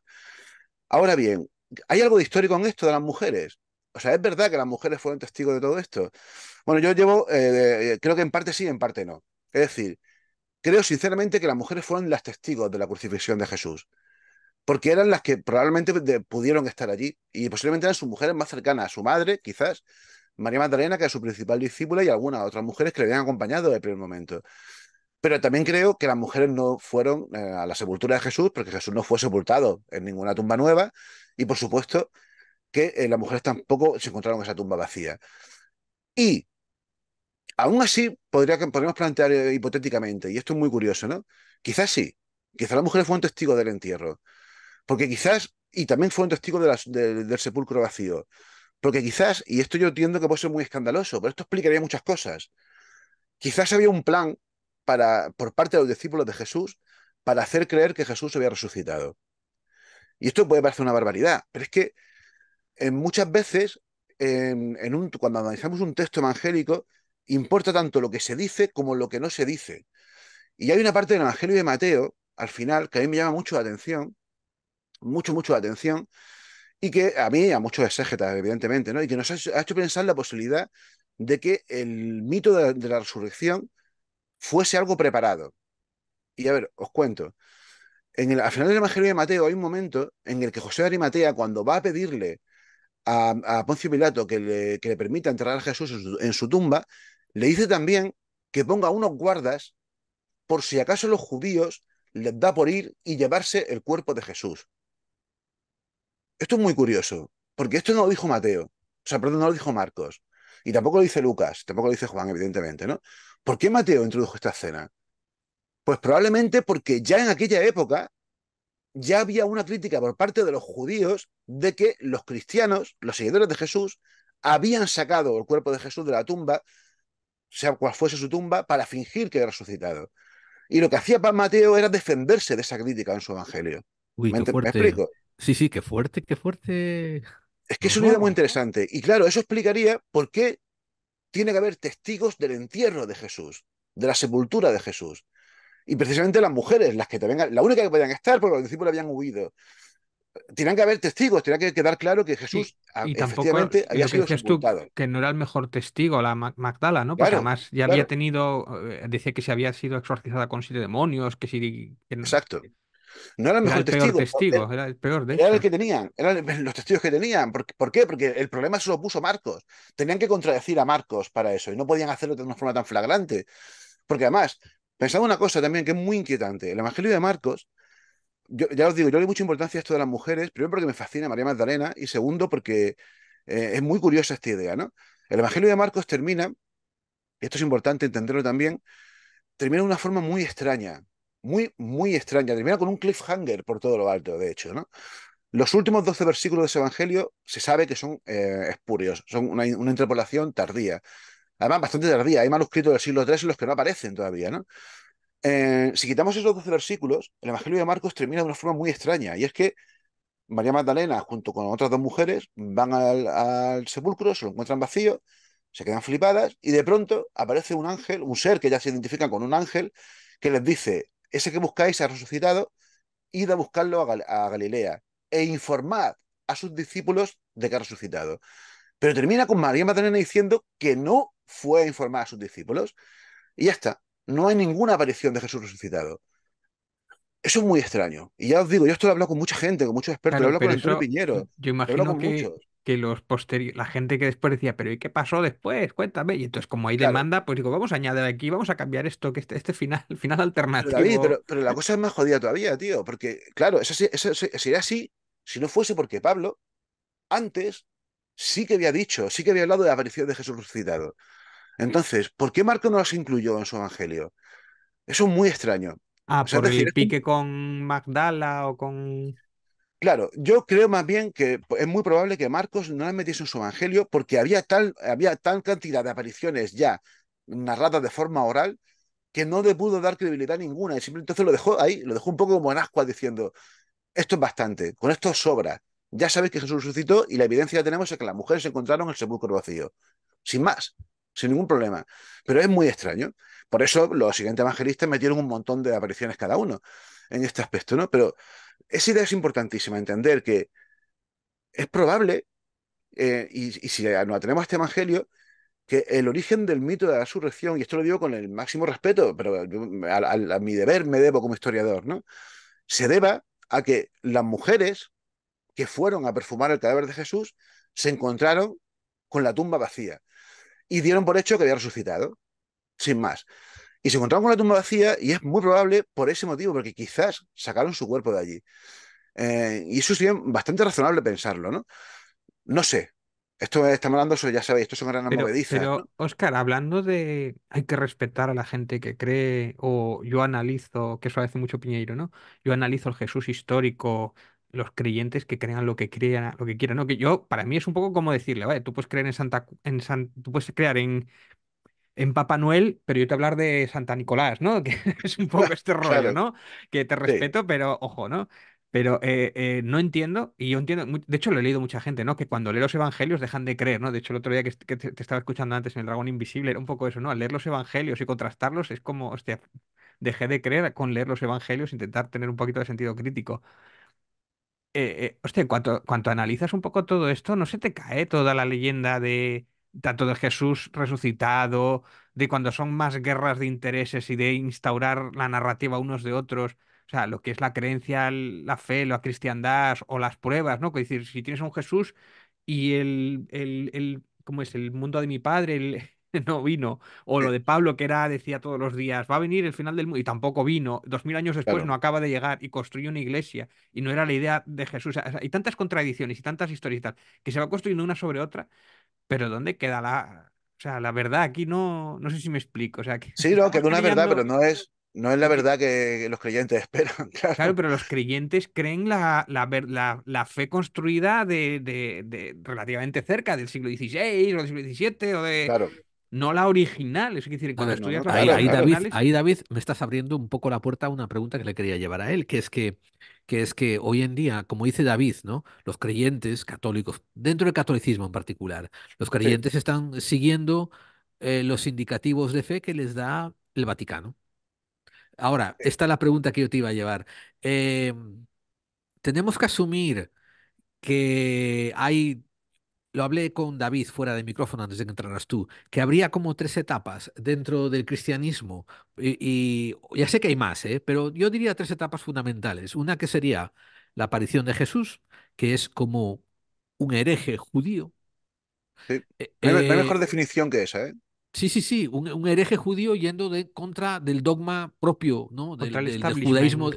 sí, sí, del establishment del momento. Pero después aparece la segunda etapa, que sería lo que se forma con el legado de Jesús durante los primeros 100, 200 años. Y aquí yo voy a hacer la tercera etapa, que es la aparición de, de, Saulo de Tarsos. De Pablo. Sí. Paulo, Saulo, Pablo, es el mismo personaje.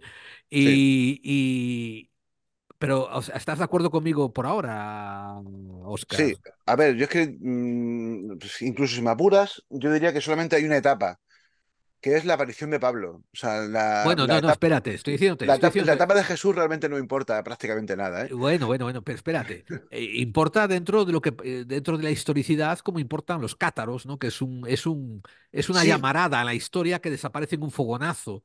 Pero pero después de Pau, después de Saulo también hay otra, que es que es cuando la el, el, Vaticano pasa a ser un imperio teológico y no un imperio militar. Sí, a ver. Yo diría que hay, yo, yo lo, mm, si lo llegamos hasta el día de hoy, o mejor dicho, nos quedamos en el siglo XVIII así, yo diría que son cuatro etapas, realmente. O a ver si a ver parece mi, mi, clasificación, que es la historia real de Jesús, que evidentemente fue un personaje que existió y que es lo que al final nos convoca aquí y lo que también lo convocaba a ellos en su momento, porque las mismas dudas que tenemos nosotros sobre quién fue, las tenían ellos y les tenían, porque no sabían realmente quién había sido, porque no habían conocido ninguno de, estas, de estos a Jesús, ¿no? La segunda etapa es la gran manipulación de Pablo de Tarso. Pablo cambió, Pablo fue un terremoto que rompió por completo con el mensaje de Jesús y se inventó un Jesús distinto. Como dirían los de Mod, su personal Jesus. Y ese Jesús es el que se acabó convirtiendo en la ortodoxia dos siglos después, cuando la Iglesia Católica se, se une con el imperio que había matado a Jesús. Y a partir de ahí tienen eh, la espada para poder perseguir a todos los que, los que eh, los herejes, los que opinan de una forma distinta.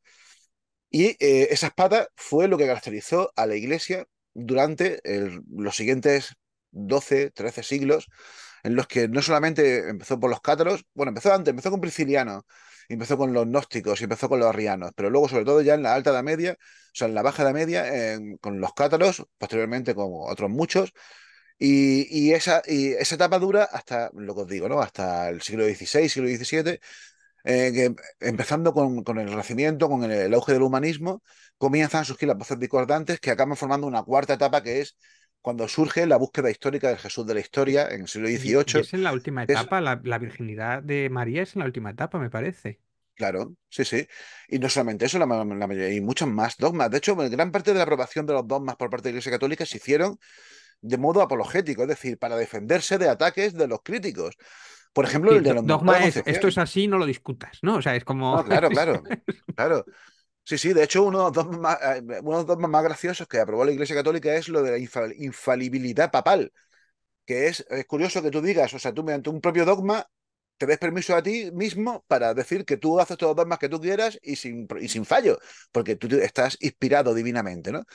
Y sí, la Iglesia Católica ha jugado un poco ese juego, pero os digo, de verdad, en, este libro me hubiese gustado mucho más entrar en Pablo de Tarso. Algún día espero poder hacerlo, porque es un personaje acojonante. Yo tengo aquí cositas de Pablo de Tarso. O sea, que, de hecho, el, programa queremos ir hacia Pablo de Tarso, pero vamos a pues, si queréis, vamos un ¿eh? poco con él porque merece la pena. Es, pero vamos a usarlo para cerrar el segmento ya, porque llevamos casi una hora contigo y, tú también dijiste que tenías que irte a otro lado después de esto. Venga, pues, si queréis, hablamos un ratico sobre Pablo de Tarso. Ya por favor, dale, por favor. Nos vamos. No, yo, yo lo primero quería preguntarte el hecho de el, el primer puesto, ¿no? Es decir, Pablo de Tarso se cayó de verdad de un caballo y vino Dios y le habló y tuvo una visión y, tuvo un ataque psicótico ahí o, y, después dijo... Tío, déjate de ataques psicóticos. o sea, yo, yo me tengo, yo un, a mí yo tuve una, una, yo tuve un incidente parecido al de, al de, ah, Saulo. Sí, sí, sí, sí, sí. Estaba en una granja con un montón de tíos, ¿no?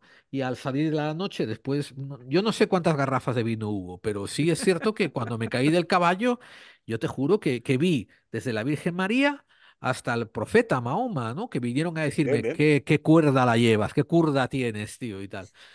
Eh, cuando me desperté en el hospital me dijeron que no era así, que bueno, en efecto se alcohol etílico. Pero por favor, Oscar, cuéntanos tú la versión que debemos de creer mejor. Exactamente. A ver, Pablo de Tarso es un personaje, como digo, fascinante, ¿no? Y em, fijaos, de Pablo de Tarso lo que sabemos lo sabemos por él, porque él escribió por lo menos de... Eh, a ver, hay 12 cartas que según la Iglesia Católica son suyas, del Nuevo Testamento. De esas 12, eh, seguro, seguro, seguro escribió cuatro probablemente escribió siete, aunque hay tres que mm, quizás no están mm, de algún modo interpoladas o manipuladas o son una unión de varias cartas distintas. Y luego hay unas cuantas, por lo menos las siguientes cinco, que no son suyas, son subepigráficas. En esas cuatro o siete cartas auténticas, Pablo da muchos detalles sobre su vida y sobre cómo llegó a, convertirse en cristiano. Y luego otra fuente de información que tenemos son los Hechos de los Apóstoles, que es un libro que supuestamente escribió el mismo autor del Evangelio de Lucas, en el que se cuenta la historia de los apóstoles después de la muerte de Jesús. Y curiosamente, el libro es una rareza, tiene un guion, eh, David, absolutamente ridículo, porque empieza contando la historia de los apóstoles y de pronto entra un personaje, hace algo parecido a lo que hizo Hitchcock en Psicosis. Empieza contando, contando la historia de, de Vera Miles y de pronto Vera Miles llega a un hotel y la matan y ya, ya se rompe. O algo, algo parecido pasa aquí. De, de pronto entra Pablo en acción y todo se centra en Pablo. Y el resto ya no importa un, pimiento. Y además termina de forma abrupta porque no hay, eh, eh, no, se sabe cómo termina el hecho de los apóstoles. Falta el mítico capítulo 29, ¿no? que siempre se ha dicho que, que por algún motivo se, se, borró, lo que sea, no se sabe nada de ese, libro. Bueno, pues bien, en Hechos de los Apóstoles lo que cuentan de Pablo no coincide con lo que Pablo cuenta de sí mismo. Nada. Y eso es flipante. Porque, ¿por qué? ¿Cómo puede pasar esto? ¿no? En el libro lo explico, ¿no? pero eran, es decir, no era que hubiera diferencia de muchos años. Entre no, no, una, Eran claro, claro, claro. O. Pasaron unos, unos, 30 años o así. Y además, eh, eh, repito, o sea, es el autor de ese libro lo que termina haciendo es contando la historia de Pablo. Y sin embargo, no la cuenta correctamente, la manipula. Y no es que se equivocase, es que la manipuló. Y esto es muy curioso. No, no fue la iglesia, fue el autor de ese libro, ¿no? A ver, os cuento. Hay un momento esencial en la historia de Pablo que lo cuenta en la carta a los Gálatas, que es cuando él, eh, todas las cartas de Pablo son cartas que él escribía a comunidades que había fundado, ¿vale? Y casi siempre el, contenido de las cartas es regañando a esas comunidades porque le habían cagado, porque se habían desviado y sobre todo porque se habían dejado seducir pues por, por, algún charlatán que le ha llegado, pero casi siempre por algún charlatán cristiano, o sea, es decir, por algún rival cristiano también, pero que defendía unas ideas distintas a la de Pablo, ¿no? Entonces, Pablo en sus cartas siempre, a la hora de regañar a sus iglesias, lo que hace es primero legitimarse, es decir, dotarse de autoridad para decir, ojo, que yo sé, y vosotros sabéis, que lo que yo sé es lo bueno y no lo que os están diciendo estos, ¿no? Sí, pero ¿por qué, se legitimaba? Que eso es, eso es muy bueno. O sea, es irrefutable. Porque claro, y eso lo hace, esa es la clave de todo esto. Que decía, a mí me lo ha dicho Dios directamente. Exacto, exacto. Y hace algo que es flipante, lo hace en la carta de los Gálatas, precisamente. También lo hacen romanos, lo hacen alguna más, pero los Gálatas es brutal lo como lo dice, porque dice, porque yo no conocí el Evangelio por el hombre, sino que yo, yo recibí una misión divina por parte de Dios y de Jesús que le encargaron predicar entre los gentiles. Y luego, esto seguido dice, y tres años después, fue cuando bajé, además utiliza en griego directamente la palabra bajé, porque él escribía desde el norte, bajé a Jerusalén y conocí a Juan, a Pedro y a, Jacobo, que es ya el después, hermano del Señor. Eso ya después. Tres años Pero eso le colocaba por delante, de, por encima claro, de Claro, lo que estás diciendo es muy fuerte, tío. Lo que está diciendo es, vosotros que conocéis, fíjate lo que, quién estamos hablando, Pedro, Juan y Jacobo, que era el hermano de Jesús, que era el líder de la iglesia de Jerusalén. Lo que estoy diciendo es, vosotros que conocisteis a Jesús, que fuisteis sus principales apóstoles, Pedro y Juan, y tú que eras el hermano de Jesús, no tenéis ni puta idea. Sí. Quien sabe de esto soy yo, porque yo he hablado con Jesús después que vosotros. Es, es irre- eh, Eso no, se, es. no se puede debatir. Esto me recuerda muchísimo a cuando hacen en la serie de la Mesías, cuando la madre dice, pero vas a Claro. llevarle tú la contraria a Dios, que me lo Claro, ha dicho claro, a mí es- directamente, le vas a llevar tú la exactamente- contraria. Exactamente es eso. Por cierto, muy buena serie de la Mesías, ¿eh? Máximo respeto a esa serie porque es una pasada. Mm. Grande Albert Pla. Eso es lo que hizo Pablo. Y eso es muy curioso, ¿no? Porque lo que está diciendo es que su mensaje está más legitimado que el de los, el de los demás cristianos porque lo ha recibido directamente de Dios. Y lo ha recibido después de la muerte de Jesús. Por eso Pablo no habla de la vida de Jesús. A Pablo no le importa un pimiento la vida de Jesús. Él lo utiliza, como repito, en esas cartas regaña a sus iglesias, ¿no? Lo fácil, en muchas ocasiones, además yo juego a ese juego en el libro y también pongamos que hablo de Jesús, pero aquí lo hago en alguna ocasión, lo fácil hubiese sido utilizar ejemplos vitales de Jesús para regañar a sus discípulos que se estaban yendo por las ramas. Pero no hace eso. No dice ni una sola parábola de Jesús. No habla de ningún solo milagro de Jesús. A Pablo solamente le importa la muerte y la resurrección de Jesús. ¿Por qué? Porque Pablo, esto es muy, la, teología paulina es muy complicada, mucho más de lo que puede parecer, ¿eh? Y no es exactamente lo que la iglesia defiende, claro está. Pablo eh, vivió en un ambiente muy concreto en el que se mezcló el judaísmo con los cultos mistéricos, con el neoplatonismo y con muchas ideas procedentes del oriente cercano, sobre todo el zoroastrismo y demás, ¿no? Pablo estaba convencido, al igual que los gnósticos, de que existían, existían varias eh, jerarquías celestiales. Existía Dios, que estaba en todo lo alto, existían como mínimo una emanación de Dios, que es en hebreo se llama la Ruá, que es eh, sea el Espíritu Santo, pero en femenino eh, que es, eh, también se conoce como la sabiduría en el Antiguo Testamento, y después estaban la- los distintos cielos cubiertos por ángeles, querubines y demás, y luego existían algo que se llaman las potestades o las potencias cósmicas, que son entidades un poco eh, semidivinas, abstractas, un poco extrañas, muy cercanas al neoplatonismo, que eh, en, este, tipo de, propuestas religiosas se les suele llamar eh, con mayúscula, con nombre propio. Pablo, a lo que voy. Pablo, en su, teología lo que defiende es que Jesús vino a acabar con dos de esas potencias, que son la muerte y el, eh, perdón, el pecado y la muerte, en mayúscula.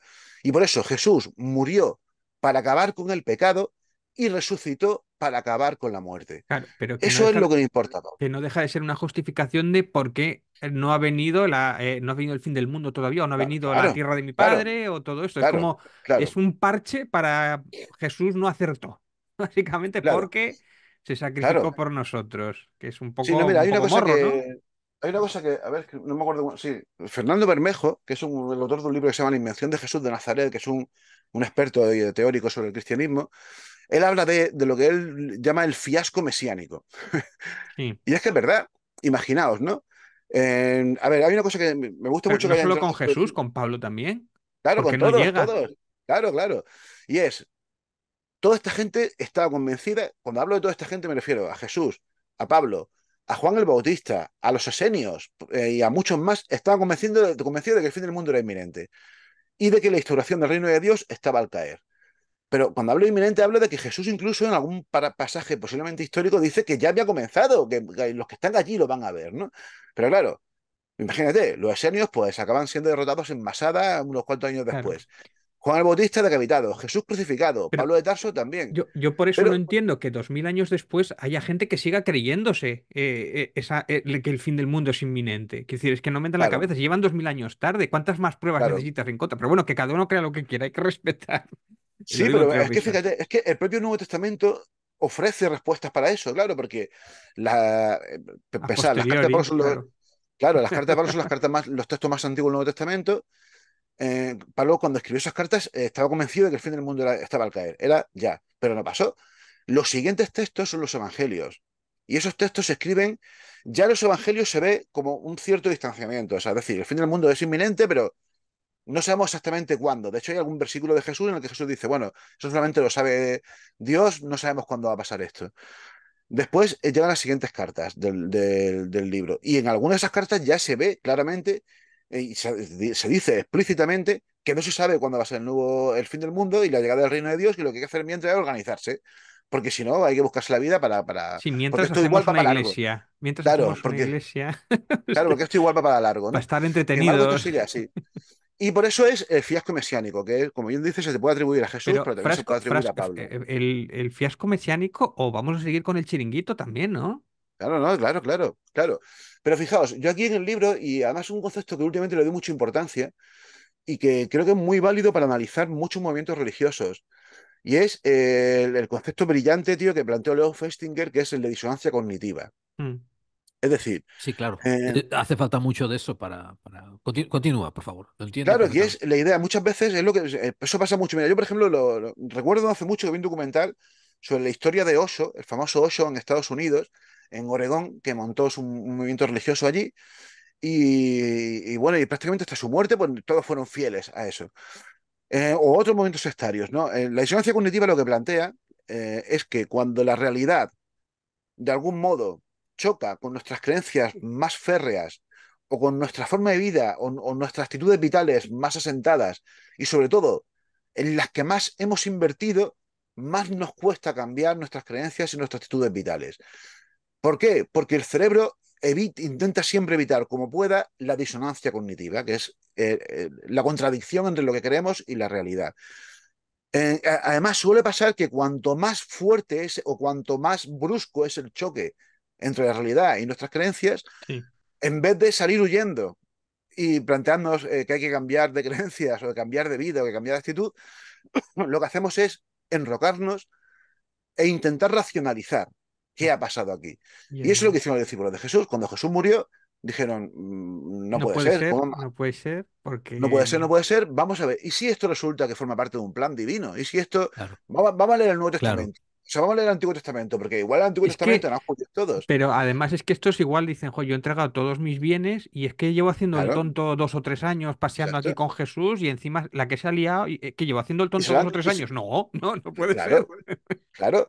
Mira, hay un ejemplo muy guapo de esto, que es eh, un libro que escribió Paul Haggis, que es un director de cine y guionista estadounidense, que entre otras cosas hizo, creo que también dirigió la película Crash, aquella. Paul Haggis estuvo en la, en la cienciología durante 20 años y eh, llegó a ser un, alto, eh, llegó a tener un alto grado en la cienciología, hasta el punto de que él llegó a ver los famosos manuscritos de Hubbard en los que eh, cuenta la historia de Xenu. No sé si conocéis esta historia, pero tiene su, tiene su magia. Eh, y a partir de ahí, él, en vez de caer en la disonancia cognitiva, lo que hizo es romper con la cienciología. Es uno de los pocos que consiguió, porque lo vio tan ridículo aquello, que dijo, hasta aquí he llegado, ¿no? Y él mismo lo decía, claro, yo entiendo que a la gente le cueste, yo me gasté, él se gastó 5 millones de pavos, 5 millones de dólares, hasta llegar a ese grado de la cienciología, ¿no? En cursillos, en sus mierdas y demás, ¿no? Por lo tanto, cuesta mucho, cuanto más, lo que te decía, cuanto más has invertido en tu proyecto vital, cuesta más todavía romperlo, ¿no? Claro, imaginaos, en el caso de Jesús, Jesús invitaba, como muchos líderes sectarios y religiosos, invitaba a sus discípulos a, a que lo dejasen todo y se fuesen con él. De hecho, por ejemplo, hay un ejemplo, ¿no? Pedro tenía mujer y tenía, porque tenía suegra, de hecho, porque Jesús cura a su suegra, pero no está su suegra por ningún lado. Jesús una y otra vez insta a los suyos, convencidos de que estamos en un, en un momento de urgencia apocalíptica, a que dejen todo y se entreguen a eso, a propiciar la llegada del Sí, reino porque de Dios. quedan días para que acabe el mundo. Claro, Entonces, ¿para qué te vas a embargo, molestar? Mm. Exacto. Por eso mismo, Origen de Alejandría, que os comentaba antes, se castró, porque él pensaba también que quedaban días y que no había que traer más almas a este mundo de infernal, ¿no? Por eso surgieron los movimientos encrátitas, que son movimientos que hubo. eh, Oscar, una cosa que es fascinante es la- lo poco que le atención que le presta la gente a, a cuánto a cuánto alarmismo y milenarismo hay detrás del cristianismo y, y vamos, o, eh, o sea que como lo hemos comentado en otros programas, incluso cuando miramos tu libro, pongamos Pablo de Jesús, sobre que los judíos ya sabían que, que pensaban que el, el fin de los tiempos estaba a caer la semana que viene. Claro, sí, sí. Y, y- y esto es una idea que permea todo, todo el cristianismo hasta, hasta casi Bueno, y, recientemente. y- y sin embargo, la culpa, de hoy. y la culpa se añade bastante también después, ¿no? La culpa de em, por tu culpa eh, se has tenido que sacrificar Jesús, ¿no? Pero eso ya es casi medieval. Claro, claro, claro, claro, claro. Y, pero esa idea sí, o sea, es así. De hecho, fijaos una cosa. los cristianismos, los últimos cristianismos que han nacido, ya en el 19 y en Estados Unidos, ¿no? Por ejemplo, los mormones, los adventistas, siguen ahondando, o los testigos de Jehová, que también son de algún modo adventistas, siguen en esta idea. Para ellos es esencial esa idea. El cristianismo, sin el fin del mundo, no tiene sentido. Es una religión que, que, se gira en torno a esa idea. Y ahí entra la idea del apocalipsis, que además hay varios apocalipsis, pero solo entra uno. Pero claro, es para aquella época. O sea, no es que, que claro, claro, rescatan los, los, las nuevas religiones de ahora, ¿no? Las abducciones, bueno, las abducciones, las, el rapto, ¿no? Y todo esto, que es algo como. El arrebato, el arrebato le llaman los, los testigos de Jehová. El arrebato. ¿Sabes, David? Esto, esto casi nos deja ya la, la, la, la alfombra echada para invitar a, aquí a Oscar a otro programa donde hablemos un poquito sobre, sobre las religiones o el cristianismo desde el punto de vista del fin de los tiempos, ¿no? De, la muy guapo. de los apocalipsis, de cuánto pensa, cuánta gente se equivocaron pensando que este venía mañana, o oh, no, viene, viene después. no toda? Ah, no, viene al día siguiente. claro. porque no, sí, pero, o es, sea, pero es interesante lo de los distintos apocalipsis, o porque solo entra uno de ellos al final y y cómo después, cómo manipulan para actualizar esa versión de los apocalipsis las religiones nuevas. Que es como... Resumiendo, mira, y ya para, para, concluir, porque además es el final de, de, de, esta historia, el Apocalipsis es el libro más complicado. No solamente de entender, porque es una locura, sino el más complicado de encajar con la teología cristiana. ¿no? Es un libro muy tardío, no se sabe exactamente cuándo, pero seguro que es de mediados del siglo II, y por eso no aparece. En... De hecho, mira, hay códices los cuatro códices completos del Nuevo Testamento más antiguo, en solamente dos de ellos aparece el, el, Apocalipsis de Juan. De hecho, fijaos, en la lista más antigua de un canon neotestamentario, que es el fragmento de Moratori del año 175, no aparece el Evangelio de Juan, perdón, el Apocalipsis de Juan, y sin embargo sí aparece el Apocalipsis de Pedro, que es un Apocalipsis que no sabemos nada porque está perdido hoy en día, solamente hay algunos fragmentos que comentaron algunos padres de la Iglesia. Pero lo que sí es cierto es que el, Apocalipsis es muy probablemente, y esto es muy guapa esta idea, una versión, a ver cómo digo yo, un, ¿cómo diría yo? Una manipulación de un apocalipsis, de otro libro apocalíptico judío, del, posiblemente del siglo I antes de Cristo. ¿Por qué? Porque en el siglo I antes de Cristo hubo, sobre todo a partir de la conquista de Roma, eh, por parte de Roma, de Judá, hubo una producción literaria apocalíptica brutal en el mundo judío pero brutal. Por ejemplo, los libros 2 y 3 de Enoch, el libro de Daniel y decenas de apocalipsis más judíos que todos apuntaban a la misma dirección. Que son casi a la llegada del Mesías. casi, ¿no? Claro, básicamente, básicamente. Pero todos giran en torno a la misma. Y esto es importante porque son los libros con los que, o sea, más que los libros, son el ambiente en el que Jesús se crió. Es decir, Jesús nació en una época en la que el pueblo judío tenía muy arraigada estaba totalmente eh, eh, histérico ante la, inminencia de un fin del mundo. ¿Por qué? Porque eh, por eso todos esos libros, toda esa idea, ¿no? La idea de que para poder desarrollar su religión en paz tenían que acabar con la dominación romana. Y todos esos libros apuntan a eso, la llegada de un Mesías que va a acabar con la opresión romana y que va a liberar al pueblo de Dios y que va a propiciar la llegada del reino de Dios, que evidentemente va a pasar por un fin del mundo tal y como lo conocían hasta ese momento. Jesús creía en eso. Y como te digo, existen como 40 libros distintos así. Y posiblemente la Apocalipsis de Juan sea uno de ellos, manipulado para hacerlo encajar con las teorías cristianas. Pero el Evangelio, el, Apocalipsis de Juan no apunta a un futuro, apuntaba casi a un presente que ya se había iniciado. De hecho, por ejemplo, sabemos que el 666, famoso número de la bestia, apuntaba directamente a Nerón. Se sabe que es una referencia a Nerón.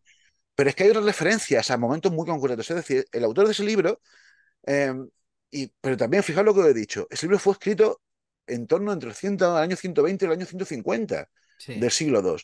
Es decir, el que escribió ese libro ya sabía que el apocalipsis no había llegado en los tiempos que ese libro prometía que iba a llegar. ¿Me explico? Qué fuerte. Eso es muy curioso. Sí, sí, sí. ¿Por qué? Es una suerte de profecía auto no cumplida. ¿Sabes? Como de algún modo para decir, fijaos, hubo incluso. O quizás una huida hacia adelante, ¿no? Diciendo. Claro, claro, esto, eh, no, pero es que no se cumplió, pero lo voy a dejar más vago diciendo que está a punto de venir. Claro, es que el cristianismo es, la historia del cristianismo se puede resumir en eso, en una huida hacia adelante al final, ¿no? Y en esa siguen los, los cristianos a día de hoy, ¿no? Porque es un poco absurdo, pero, pero yo una, cosa, el tema de, volviendo un poquito, ah, igual ya para acabar, ¿no? Gerald? El, tema de Pablo no me quedó muy claro. Al final no se cumplió lo del caballo, eso es una cosa inventada, ¿no? No, no No, está confirmado ni nada. Pero yo lo que no, claro, lo que no sé muy bien, y quiero preguntarte, igual no, no se sabe, es si Pablo realmente escuchaba esas voces, si creía de verdad que había estado con claro, claro, o lo claro. utiliza, o, o era más una invención como un arma política para, para dominar la religión, A ver, mira, o las dos yo, cosas, o ninguna, no sé. yo creo que son las dos cosas. Es decir, yo en- en- hace muchos años, cuando empecé con todos estos temas y demás, tenía la firme convicción de que era, bueno, un, un- un loco, ¿no? Un iluminado que escuchaba voces. Eh, ahora voy mucho más allá, y yo creo que más que un loco, era muy iluminado que escuchaba voces, pero además eh, es, es normal que escuchase voces. Es decir, en sus propias cartas, él habla de un concepto muy curioso que es el concepto de don espiritual, los dones espirituales. Y son poderes que Dios les concedía a sus seguidores. Eh, es curioso, pero entre la- los enumera, el don de la profecía, el don de hablar en lenguas. Cuando él Mm. habla del don de hablar en lenguas, se llama glosolalia, y eso es muy curioso Pe- porque no se refiere a hablar en lenguas Claro, pero es que eso es muy de los que están endemoniados a- hoy día. Claro, claro, exactamente. Es que eso es muy de los evangélicos. Eso es muy de los evangélicos actuales que hacen también ese tipo de cosas. No entran como una suerte de trance en el que unos profetizan, otros dicen cosas que otro que está al lado es capaz de interpretar, porque hablan la lengua de los ángeles, ese tipo de cosas, ¿no?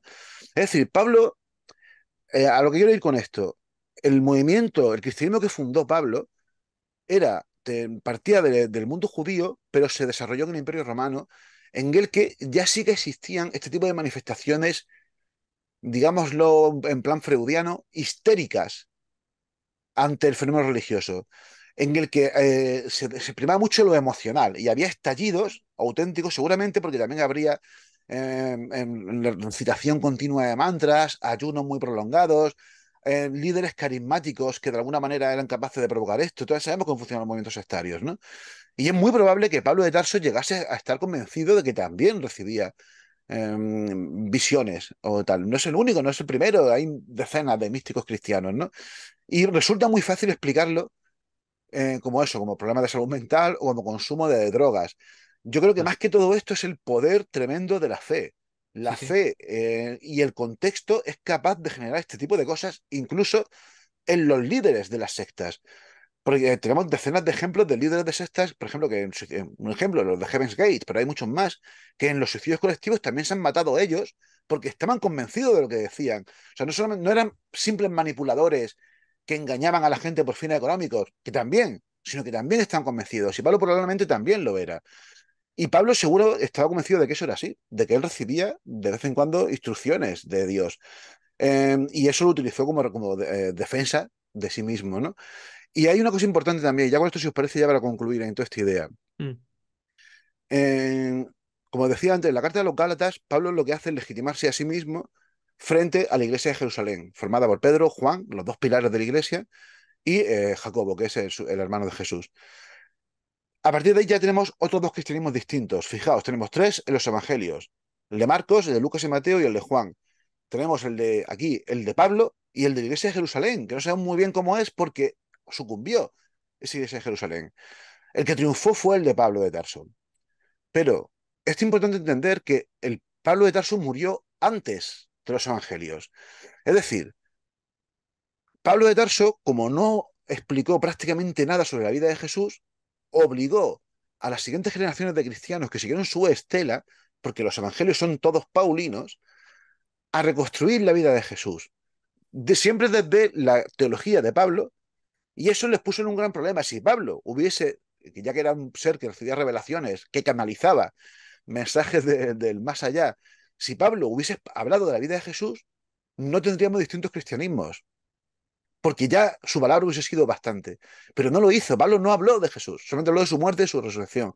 Y ese fue el origen, seguramente por el ansia de saber que tenían los seguidores de Jesús ya de los años 60, 70 del siglo I. No sabían seguramente nada de quién había sido. Lo que sabían era lo que Pablo les contaba, les había contado, porque no había textos que hablasen de la vida de Jesús. Y ahí fue donde un buen día alguien, llamémosle Marcos, se vio obligado a contar de forma aparece. narrativa Hay, hay una demanda de saber y aparece un texto escrito. Exacto. Mira, aquí, aquí lo tienes. Claro, probablemente inspirado por tradiciones orales, que sí que existiría alguna, ¿no? Seguramente pues, hizo un proceso de investigación, tampoco demasiado amplio, porque Pablo tiene un millón de errores geográficos, teológicos, muchas cosas. Sí, pero, los describes en el pues, libro. Claro, pero fue su intento, fue su intento de ofrecer una narración eh, ante lo que tú dices, ante la demanda de saber quién había sido ese personaje. Y claro, ah, luego pues eh, surgieron otros que lo que hicieron es ahondar en esa información. Por cierto, por eso no sabemos nada sobre la vida oculta de Jesús, porque probablemente Marcos, ni lo sabía Marcos, ni lo sabía ninguna de esas, no, no había tradiciones que hablasen sobre la vida oculta de Jesús, y Marcos no se las quiso inventar, prefirió empezar directamente en el, en el, de Jesús en el Jordán, que es el momento clave de su propuesta teológica, porque fue el momento en el que fue adoptado por Dios. Así que eso es lo que tenemos, amigos. Esperemos que algún día aparezca por ahí algún manuscrito perdido que nos ayude a solucionar este, este rollo, pero por ahora me temo que no va a ser así. Bueno, me parece un sitio excelente para dejarlo y, y, dejar la puerta abierta para invitarte a un programa muy cercano, dentro de un par de semanas o tres, a, y, porque te, fíjate, lo acabas de dejar aquí en Cliffhanger, cerrando, o sea, contando la, un análisis sobre, sobre Pablo, sobre Sí. Pablo, pero eh, como te dije, de aquí, de- desde la historia de Pablo, haces un lanzamiento a lo que es todo el milenarismo, eh, la- el, ca- el- el apocalipismo, ¿no? de, de- Sí, de- de la religión, el, el que es el fin de los días, el fin de los tiempos que está por llegar. ¿Te parece, David? Perfecto, además con todo lo que está ocurriendo en, en allí en Israel y en Palestina, pues yo creo que es un Uh, poco propicio, ¿no? Y se puede ligar ahí. Claro, uh, claro. qué fuerte, qué fuerte. Pues yo os recojo el guante y además si queréis os comentaré también de camino y eso lo dejo aquí como cliffhanger, Sí, lo que nos pasó a, a Jesús Callejo y a mí en San Sebastián de Carabandal, Ah, precisamente sí, con un, un convencido de que el fin del mundo estaba, estaba al caer, ¿no? Lo cual a mí me, me sigue fascinando que haya gente que esté convencida de que esto es así, pero Es excelente. hay que haber de así todo, es. ¿eh? Bueno, pues el libro que hemos estado, que hemos usado de, de plataforma, de, de trampolín para hablar de toda esta conversación es Eso no estaba en mi libro del Nuevo Testamento de Óscar Fábrega, que está disponible eh, en Guante Blanco, en Amazon, en librerías, en todas partes. En todos Y lados, con, sí. y Sobre todo, nos- yo, yo siempre os digo lo de siempre, soy un coñazo, pero bueno, si alguien está interesado, que se lo compre en la librería de su barrio, que vaya a su, a su librero de toda la vida claro y que sí, va a poner, porque está muy único Amazon, Corte Inglés y demás, pero al final esta gente son los que te van a comprar luego a ti tu barra de pan en tu tienda. Así que apostemos por la librería de barrio, que son las suyas. Perfecto. Exactamente, bien dicho, bien dicho. Y así lo haremos. Eh, no solo eso, eh, tu libro, este libro en particular, eso no estaba en mi libro del Nuevo Testamento, va a pasar a ser parte de nuestra biblioteca clave 45. Lo vamos a poner en la página web, lo- con los enlaces a la compra. Y vamos a eso, a publicitarlo cada vez que podamos, porque como te digo, las obras que tú nos regalas nos parecen referenciales, Oscar. Muchas gracias, qué Eh, eh, A ver, esto, si la gente te quiere seguir y escuchar más de ti, ¿qué, qué- qué vías de contacto sugieres o qué maneras de seguimiento sugieres? A ver, yo sobre, sobre todo Facebook, eh, que es donde más presente estoy, aunque tampoco estoy mucho, y mi página web, que también la tengo de jaillas, es que la verdad es que no me da la vida. Estoy siempre con mil proyectos distintos, porque también tengo Instagram y tengo eh, X, lo llaman ahora, ¿no? Pues si es que sacas Pero un libro cada tres meses, si es que lo que no sé es cómo, cómo lo haces, si es alucinante. Es libros muy potentes, o sea, decir, no, sa- ¿sabes qué pasa? Que eh, en- en- primero aproveché muy bien el tiempo de la pandemia, y seguro que, eh, segundo que eh, estos dos que han salido en el último año sido un poco casualidad, pero es que estuve trabajando con los dos a la vez. A mí siempre me gusta, y esto sí que es un pequeño secreto, que ahora como un medio público, siempre me gusta tener empezados mínimo dos o tres libros. No me gusta estar solamente con uno. Porque me llega un momento, me pasa como cuando estoy jugando, por ejemplo, a un juego de la Play, ¿no? Que llega un momento en que me, me aturullo y digo, prefiero, me pongo otra cosa para desconectar, ¿sabes? ah, Y me ayuda mucho eso, ¿no? Entonces al final voy con dos proyectos a la vez y cuando me canso de uno me pongo con el otro y de pronto me da por acabar uno y lo termino y nada, ¿no? De hecho, ahora mismo estoy también con varios proyectos así a la vez. Y el de Poe y el Nuevo Testamento, curiosamente, para mí tienen eh, un cierto parecido, precisamente porque se escribieron a la vez y porque de algún modo ambos son un- una, una invitación a que los lectores de ambos libros relean las obras en las que se basan. Uno la obra de Poe y otro la obra del Nuevo Testamento. Así que ahí se quedan. Y por supuesto, Maravilloso, cuando queráis, dentro de unos días, hablamos del fin del mundo, que va a llegar. Maravilloso. Te, ya Es te digo, la invitación está echada. Y otra cosa, no os olvidéis que hay un podcast excelente que lleva Oscar Fábregas, que eh, se titula Tempus Fugit. No hay, fijaros, no hay un podcast de misterio histórico con un título más chulo y que tenga una intro tan camberra como ese. Claro, somos los, somos los del, del misterio. Muchas gracias, amigos. De verdad ha sido un placer y cuando queráis, seguimos. Oscar, gracias por todo y gracias por ser el tío maravilloso que eres. Venga, nos vemos Gracias a vosotros. Seguimos. Nos juntamos con Oscar Fábrega y salimos eh, mejores personas y sobre todo gente más culta y con más conocimiento. Esto es lo bueno que tiene de, traer invitados de este calibre. Oscar Fábrega se merece un, la verdad, David se merece una silla con los mejores divulgadores del mundo y se merece un poco de tiempo de micrófono hablando de todas estas obras que él hace en los mejores micrófonos, ¿no, no, no te parece? Sí, además esto es de estas personas que tú lanzas una pregunta y puedes estar hablando media hora, pero tú estás escuchando porque todo lo que te cuenta es, eh, te queda hipnótico, ¿no? Un poco, es- tiene esa habilidad de lo que te está contando. Y fíjate que los libros de él eh, me apasiona cómo escribe, porque además es que lo que tú dices, que eh, escribe casi como habla, ¿no? Eh, entonces, eh, pero te habla como muy, muy coloquial muchas veces. Entonces, temas sesudos o temas que podrían ser o escritos por igual a otros autores, sobre todo más, más mayores, eh, pues igual lo hacen más recargado, más retorcido, no sé, o más rimbombante o más sonoro y tal. Él no, te lo, te lo lleva a la tierra y temas súper sesudos te los explica tan sencillo que aprendes muchísimo con él. O sea, como precisamente como eso, como para aprender, para, para enseñar historia y bajarlo a la tierra me parece fascinante. O sea, que, es que es que ojalá fueran así todos, ¿eh? Así te lo digo. ¿Te, te costó, verdad que no te costó nada leerte el libro de, de los evangelios? ¿O sí te costó? Dime, fue un poco ¿Qué va? duro Me- porque Pero si es que me lo, me lo enganché. Bueno, es un libro gordito, ¿eh? Es decir, gordo, pero sí, sí. Me lo leí en, en cinco sesiones por la noche, un rato, un par de horas o así. Me lo, me lo fumé, como quien dice, ¿no? Y Claro. Sí, porque sí. había que, había que degustarlo un poco, iba subrayando, iba detallando y tal. Y además es un tema que, hostia, que no es sencillo, ¿eh? Desgranarlo. Lo No. que te cuenta ahí, hay, un- hay una labor de historiador ahí mm, brutal. Y además, eh, bueno, o sea, es, Es que, es es que lo digo en serio, a mí me parece otro libro que le ha hecho referencial y que está al lado del Pongamos que hablo de Jesús, en el sentido de que cuando te apetezca referenciar algo que tenga que ver sobre la historia de los evangelios, ahí lo tienes, ¿no? Es, es buenísimo. Eh, hablo de que está a la altura de alguien como, como incluso el ilustre, el ilustre Piñeiro, ¿no? Que es un teólogo que, vamos, Sí, que, que cuando lo oyes a- a hablar sí. es, es fabuloso y es, sobre todo es bastante crítico, es escéptico. A ver, Piñero no, No se trata de que sea escép- no es escéptico, no, no, no, no lo sí crítico, No, correcto. bueno, es, él siempre dice que esto es, esto, esto se lo dije a Oscar también, ¿no? Es como cuando dices tú, bueno, yo te voy a hablar de San Nicolás, no de Santa Claus. Es un poco lo que dice Piñeiro, ¿no? Es, yo te voy a hablar del Jesús histórico, no del Jesús mito, mitificado. Y ahí no entra más, ¿no? Que es un poco como te la Claro, lanza a la claro. cara, pero ya es, es problema de los que creen.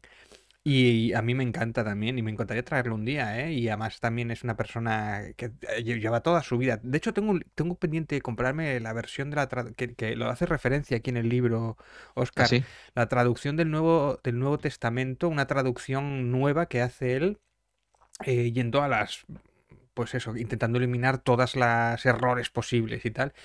Y hace referencia a Oscar en el libro alguna vez, algún significado y tal. Y también es un maestro para el propio Oscar, ¿no? Y, y alguna vez lo trajo en Tempus Fugit, que también lo escuché y tal. Y yo también he escuchado muchos programas de él y, y algún libro del que tengo por ahí y tal. Y, y es fascinante lo de este hombre, porque además lleva muchos años, ¿eh? Y, y- divulgando también a un nivel muy alto cuando nadie lo hacía en su momento. Igual hay vídeos o programas de, del misterio de los 2000 o 2000 y poco, o incluso antes, y ya estaba por aquí este hombre danzando hablando con esa solemnidad. Y además él ha entrado un poco en el mundo del misterio, un poco como de rebote también, porque él no es propiamente del misterio, le han traído al misterio. Eso es algo interesante, ¿no? Alguna vez que le propusieron que hablara de los ovnis de la Biblia y él decía, no me acuerdo quién lo decía, no sé si fue Santi Camacho o alguno de estos, que lo querían traer a un... o el Oscar, no sé si fue Oscar, no, no me acuerdo quién lo dijo, de esto que es cosas que escuchas y que te quedas con ellas, pero no me acuerdo quién lo Sí. dice, ¿no? Quiero que vengas a hablar sobre, pues era una de estas ponencias que hacía, sobre los ovnis de, de la Biblia. Y dice, dice Piñero, ¿pero qué, qué ovnis? ¿Qué dices tú? Si no hay ovnis en la Biblia, ¿pero qué estás diciendo? Entonces como que le tuvieron que explicar, mira, esto se puede interpretar de esta manera y tal. Oh, qué interesante y tal. Y, y lo desmitificó absolutamente, ¿no? Lo de los claro, carros de fuego y todo esto. claro. Desde un punto de vista, claro, de un erudito, de un... de alguien que sabe de esto, de, bueno, se puede interpretar de muchas maneras, pero a ver, amigos. Claro. Que también se puede ser que se fumó algo también. ¿no? Bueno, no, no, lo que pasa es que yo le he oído eso de Piñeiro, ¿no? Hablando, haciendo el comentario que hizo sobre cuando le invitaron a, hablar de ovnis en la Biblia, y él dijo que lo que pasa es que lo que pasa es que nosotros estamos interpretando el libro histórico escrito hace dos mil años o tres mil años, ¿no? En claves actuales de ovnis, pero esto fue escrito en, en claves actua en claves antiguas proféticas y que, y que no se debe de. Y él lo dijo, ¿no? Una cosa como, por ejemplo, hablar sobre, sobre una, una columna de fuego, pues claro, si quieres llevarlo al terreno ovni, llévalo. Pero ellos lo estaban pensando en, en la, la diatraba, el lenguaje, la sintaxis profética que es usada por los profetas judíos del, del año 1000 claro. antes de Cristo y, y, todo el lenguaje ya profético que existía. Eh, o sea, te, te, te, digo frases claves que te suenan. Cuando alguien te dice cosas como, por ejemplo, imagínate que alguien está hablando contigo y dice, mira, David, en verdad, en verdad te digo, tú dices, hostia, eso me suena al Nuevo Testamento, ¿no? O cuando le dices, mira, David, en antaño hubo, en antaño unos hombres y esas tribus tal, y no sé quién trajo a no sé cuánto y no sé cuánto trajo a no sé quién. Y tú dices, hostia, eso es un Antiguo Testamento, ¿no? Eh, esas son claves, esas son claves sintácticas y se hacían ya antiguamente, cuando se escribían estos textos, para que la gente, nada más oírla, como si fueran perros de Pavlov, o sea, en, plan subconsciente, supiesen que esto eran textos revelados. ¿no?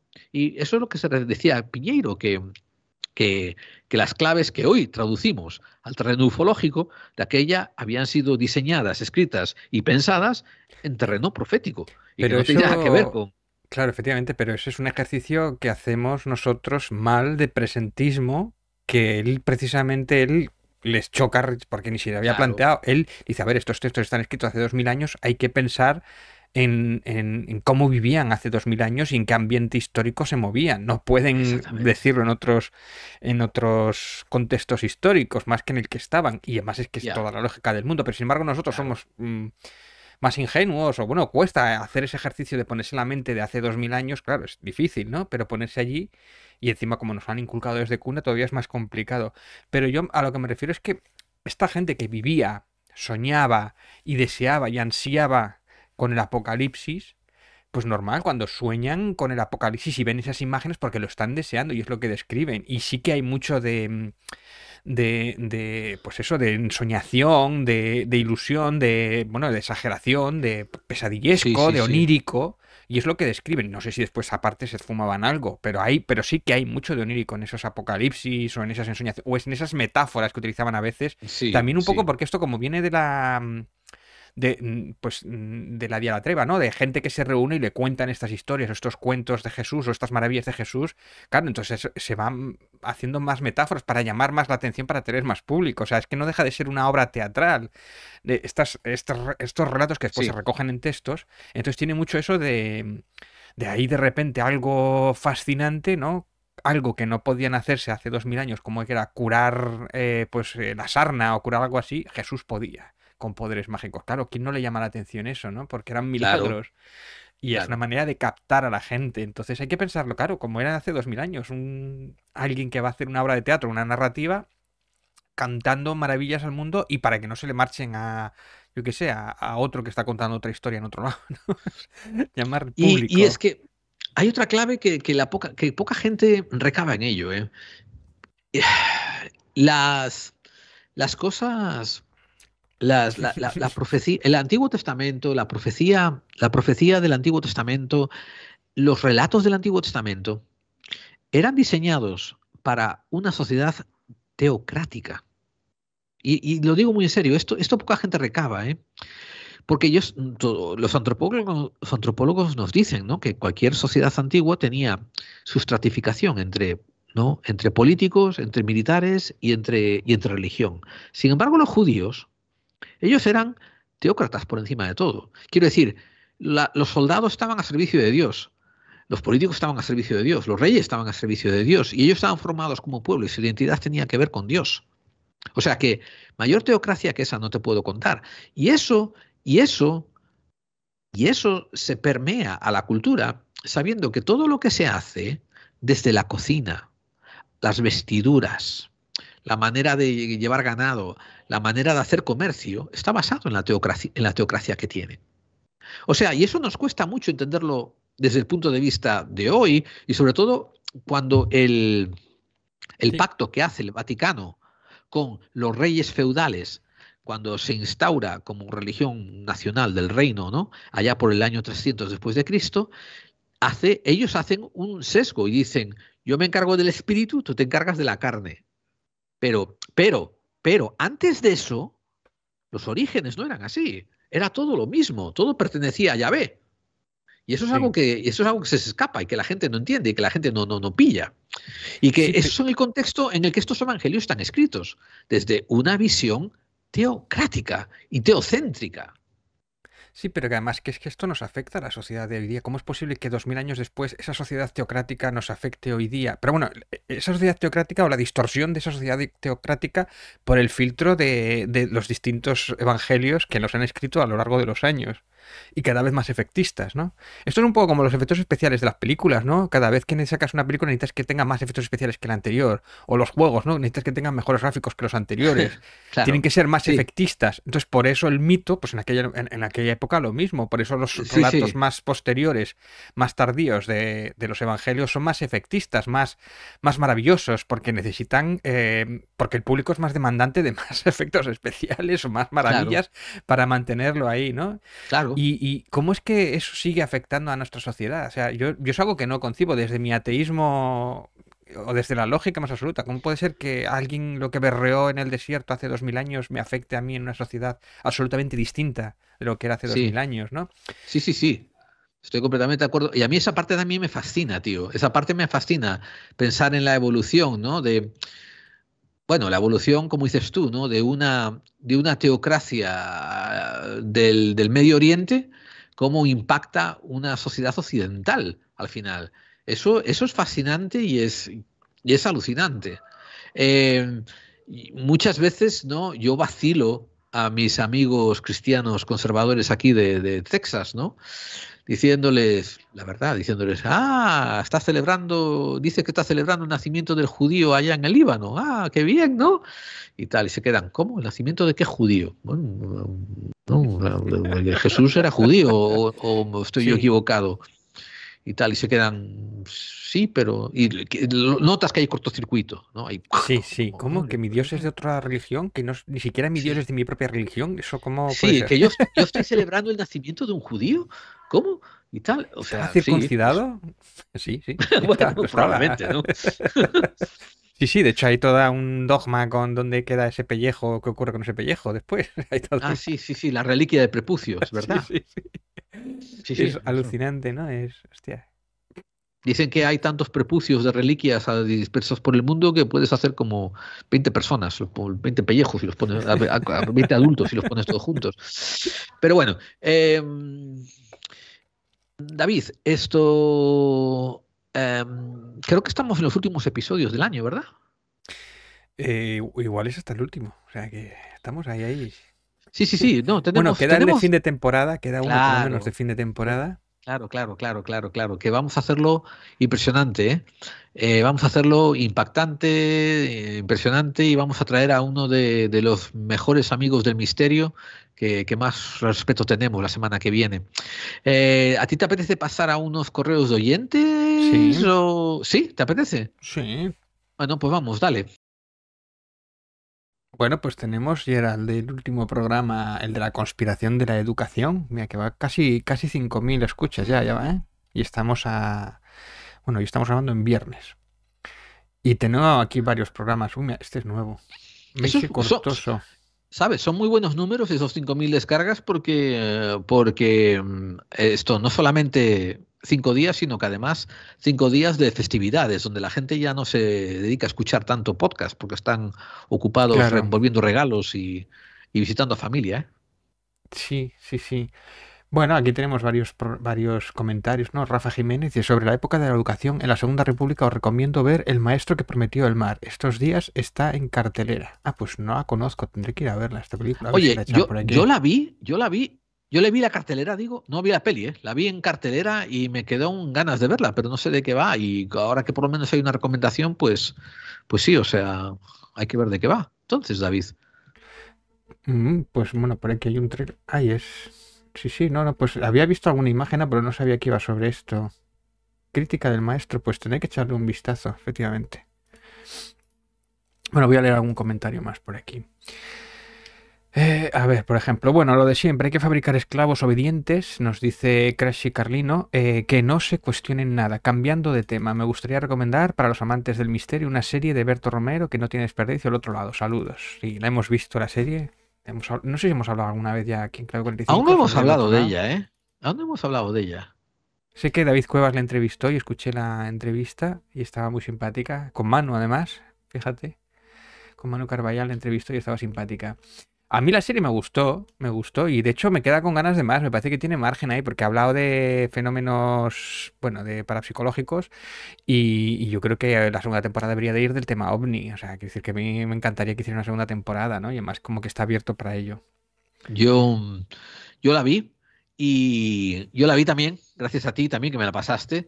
Eh, y, te digo, ha sido una de las que más he disfrutado en muchísimo tiempo, ¿eh? una de las series que más he disfrutado. Sobre todo, la que más he disfrutado dentro del mundillo del misterio ha sido esta. La de al otro lado, ¿eh? Sí, porque ha habido eh, otras que han hecho que a mí no me ha gustado tanta. La del grupo EPTA, por ejemplo, me parece que está mejor aquí que en la película que tienen ellos.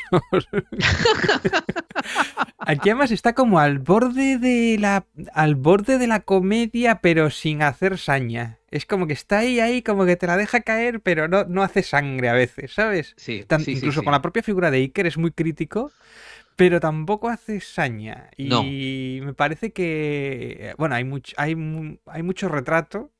Eh, no, es mentira, no hay retrato. Eh. Lo que hay es eh, homenajes. Y, quiero decir, usa, usa, usa mucha gente para basarse en ella, pero le da, le da suficientes giros para hacerlas distintas. ¿eh? Sí, sí, de hecho es como, me parece que utiliza mucho, mucho, mucho mm, imaginería o mucha estética o tal, pero sin embargo después es verdad que le cambia los nombres, tal. El, el, personaje que hace Andreu, por ejemplo, es una especie de Jiménez del Oso, pero no tiene nada que ver con Jiménez del Oso, sería más Germán de Argumosa, la manera de hablar o... O, mm, o sea, decir, tampoco identificas, o sea, se viste igual, se viste igual, pero no es él, ¿no? Y, no. Y lo mismo con otros personajes que salen por ahí. El grupo Epta sí, es es y no es, pero no, pero no es verdad que es verdad que tienen 250 años, ¿no? Entonces ya estaban ahí todavía. No hay que negarlos, es Bendito, sí. O la figura propia de Iker está un pelín exagerada, pero tampoco ves que es demasiado. O sea, que sabes que las reglas que juega a lo que está jugando es una cosa y no tiene nada que ver con lo que hace. Claro, claro, claro. Em, por eso te digo que yo en eso, en eso lo respeto muchísimo y sobre todo me encantó la reacción de Manuel Carvallal que dice, oye, estoy muy enfadado contigo porque la he mirado, le, le dice a Beto, ¿no?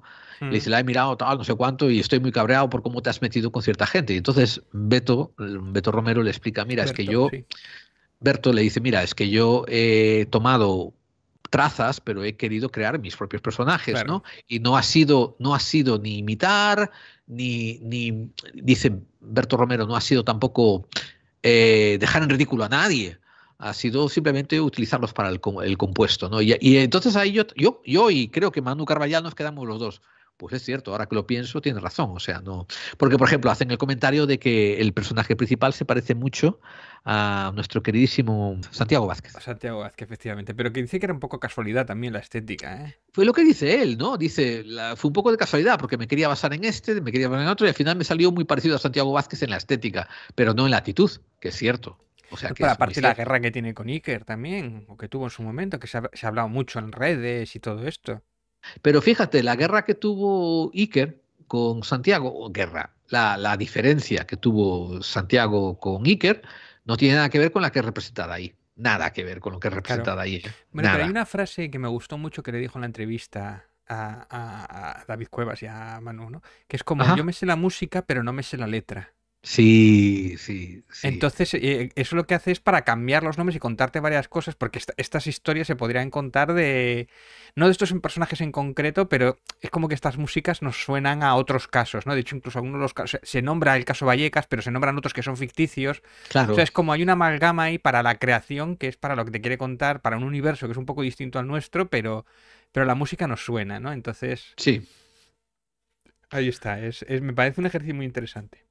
Pues amigos, yo, yo al menos recomiendo a los que, los que les guste el mundo del misterio que eso, que se puedan ver al otro lado. Eh, y te digo, la recomiendo en el sentido de que no la miréis para a ver de quién habla, a ver a quién critica, sino Eso, es, es, es yo, yo, yo lo llamaría como un cómic satírico sobre, sobre el mundo del Sí. misterio, ¿no? Sí, y tampoco es, tampoco es tan, es que es curioso porque tampoco es tan sático. Podría haber ido No. a, a hacer más daño, pero no es lo que Sí, quiere. Es, no. eh, os- de hecho, coge Pero- como personajes y después los evoluciona, o sea, los saca del arquetipo. Es que yo al decir satírico simplemente digo, no se lo tomen en serio, nada más. A Eso es lo que me refiero, eh, lo digo en serio al usar el término satírico, para no ser tomado muy en serio, nada más. Mm.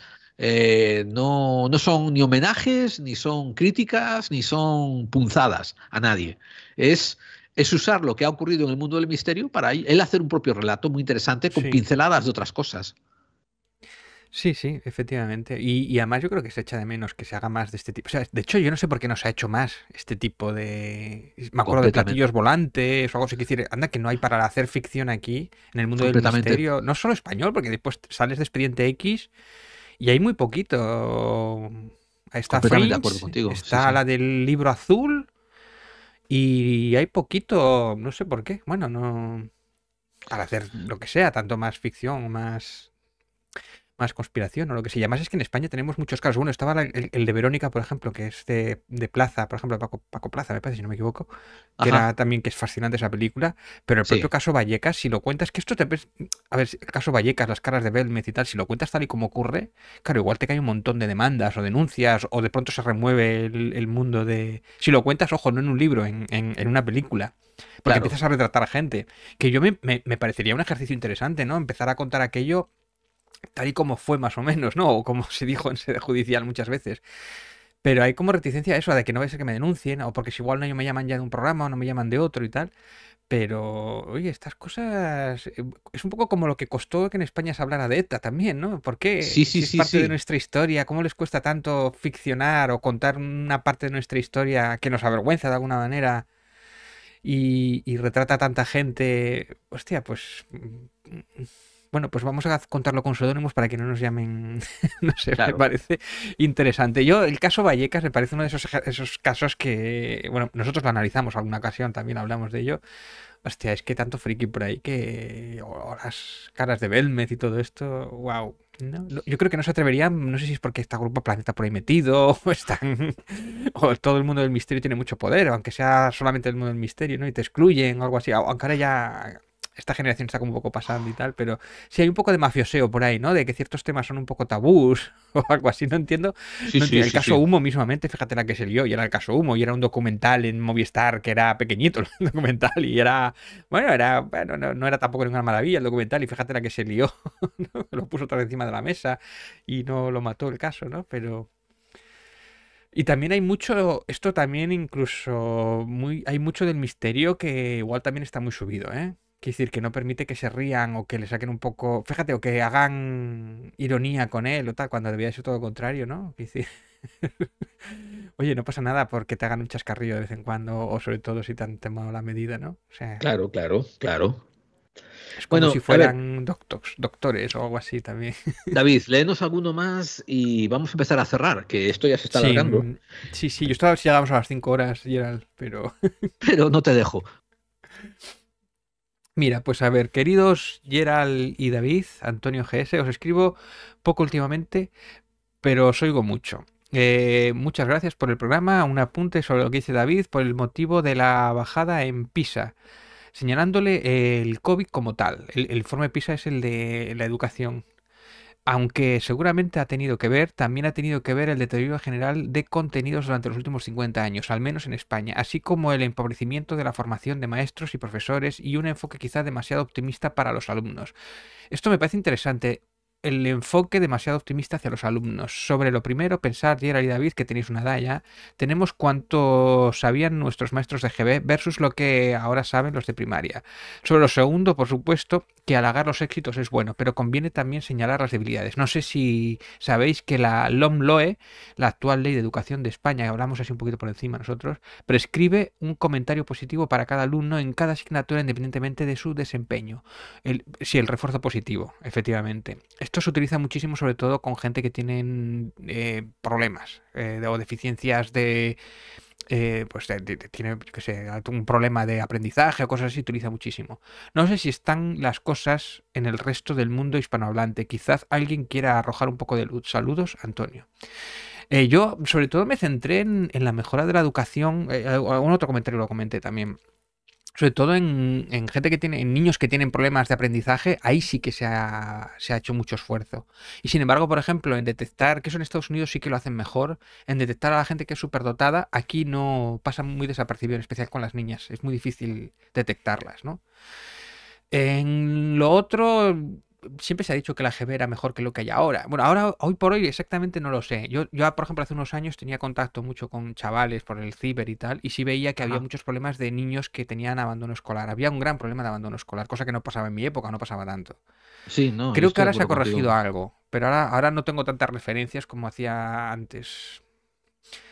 Pero sobre todo eso, a mí la educación especial me parece el gran avance de los últimos tiempos, ¿no? Y el debe, por lo menos en España, es eso, el de los superdotados y todo eso, que hay mucho tema, porque además está el tema psicológico también que está añadido, ¿no? El, la aceptación por parte de la gente eh, o detectar esos, ¿no? Sobre todo en niñas, ¿no? Hay muchas, muchas superdotadas que no se sabe que son, bueno, y se sabotean a sí mismas y todo esto.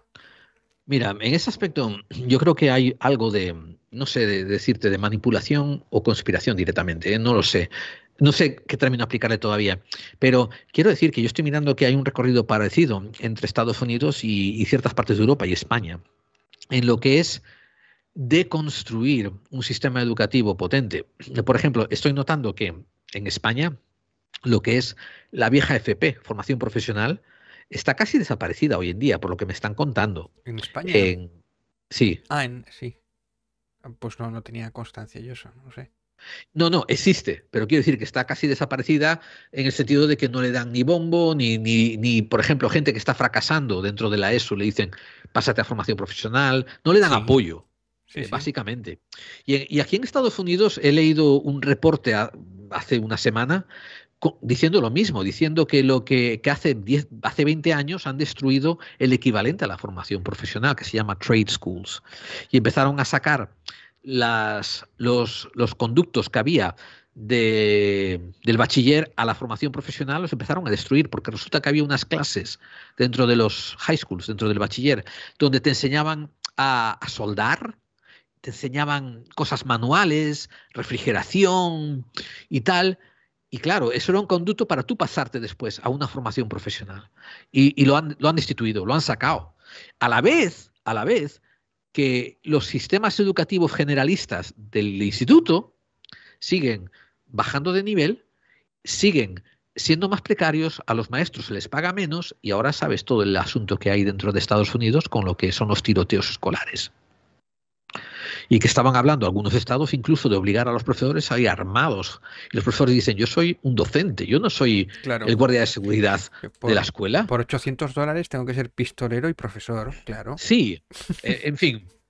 Por eso que yo estoy yo estoy contemplando que lo que hay, generalmente hablando, generalizadamente hablando, es un impulso concertado, y lo estoy detectando en Estados Unidos como en España, para que la gente vea las escuelas concertadas en España y lo que se llama los charter schools en Estados Unidos como la mejor opción viable a una educación pública que dicen que está en decadencia y se está destruyendo, cuando en realidad yo lo estoy mirando como un movimiento capitalista típico, que es dejar destruir una industria, dejar que se que una industria hasta que parece que no funciona para después privatizarla. Claro.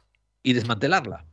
Pero además ah, estás hablando, de, o sea, no estás hablando de la universidad, estás hablando de, la formación profesional y, los colegios normales, claro, efectivamente. Sí, sí, sí, porque... Ah, la universidad ya es privada allí prácticamente. Por eso, claro, yo estoy hablando de las públicas, de las que estoy hablando de lo que es la, primaria y la secundaria. ¿Me entiendes? Que lo están intentando llevar también a lo que se llama escuelas concertadas, que aquí son charter schools y cada vez hay más grupos organizados de padres que están empujando para que eso se haga realidad, diciendo y alegando que la pública está destruida y es un desastre. Sí, que no es verdad. Y además, no, no, sé si usarán el lema este de en mi universidad, o sea, en mi colegio privado no hay tiroteos. Paga, para que tu hijo no sufra un tiroteo. No, todavía no, claro, claro, todavía no, pero algún día como le des la idea lo van a empezar a usar, ¿eh? vas a ver. Claro, es un buen reclamo publicitario.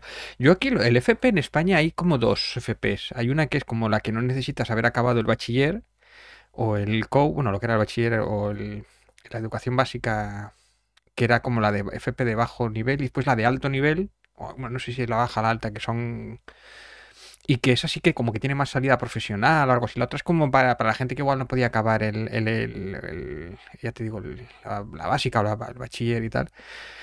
Eh, de hecho, yo es lo que estudié. Yo estudié informática de administrador de redes y sistemas en su momento. Y que después, si acababas esa, igual podías tener acceso a la universidad, o podías tener también, o si acababas el code, también podías tener acceso a la universidad o tal. Pero era como una cosa intermedia que no era no accedías igual, bueno, igual, en el mundo de la informática accedías igual al mismo puesto de trabajo alguien que estudiaba, pero en teoría no, que estudiaba la carrera o que no. Pero sí que se supone que te dedicaban más para el... que a mí me parece que era muy buena idea, ¿no? Eh, estaba como más destinado a, a educarte para lo que iba a ser el lo que había laboralmente por allí, ¿no? Los trabajos laborales. Sin embargo, la universidad era como más elitista y era como más separada de la realidad y tal, ¿no? Y de hecho, el plan de Esperanza Aguirre era fortificar o, eh, la formación profesional porque en España había demasiada gente que tenía que era universitaria y no tenía salida laboral. Y incluso el choque a la salida laboral tras la universidad era enorme y había gente que no era capaz de adaptarse, ¿no? Incluso en mi clase había gente que había hecho la carrera y estaba haciendo la formación profesional para, para a través de las prácticas entrar en el, en, pues tener un trabajo eh, normalito, ya te digo, de, de 8 horas, mil euros, que eso ya era tremendo, ¿no? Eso ya era, vamos, una maravilla. Entonces no sé si ahora se está perdiendo, pero bueno, la idea está bien. Lo que pasa es que a mí lo que me parece cruel es eso, que tú saques la carrera y no tengas salida laboral, ¿no? Porque te prometieron que estudiando la carrera, pues tendrías una posición social por encima de los que tienen la formación profesional y, y estamos viendo que 20 años después no ha sido así. Es que otro problema inmenso que yo también te veo paralelo de Estados Unidos y España es la desvinculación que hay de los estudios universitarios con los mercados laborales. O sea, hay una desvinculación increíble. Y aquí en Estados Unidos son muy cínicos acerca de ello. Tú cuando te vas a una universidad y sacas los cuatro años de, universidad, que es el bachelor's, los profesores te dicen por el medio, bueno, esto es para tu propia formación. Lo que de verdad tienes que hacerte ahora es entrar en el mercado de trabajo, ¿no? Agarrar un trabajito de mierda, básicamente, y empezar a formarte como trabajador dentro de tu campo. Pero nosotros te estamos dando unos conocimientos generalizados que hace falta que tengas. Y, y no es así, o sea, a ver, a ver, esto, si yo hago un bachelor o un máster en literatura, quiero poder salir encontrando trabajo de escritor o de profesor de, inglés en algún lado. Si hago, porque fíjate, si yo hago un máster de química, me van a meter a trabajar en un laboratorio.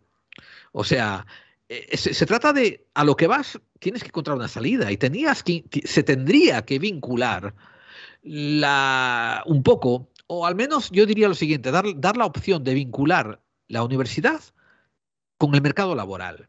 Y, se, se, desvincula. O sea, es algo, es algo desmarcante. Lo han hecho también, ojo, esto lo hacen también con las promesas electorales, ¿no?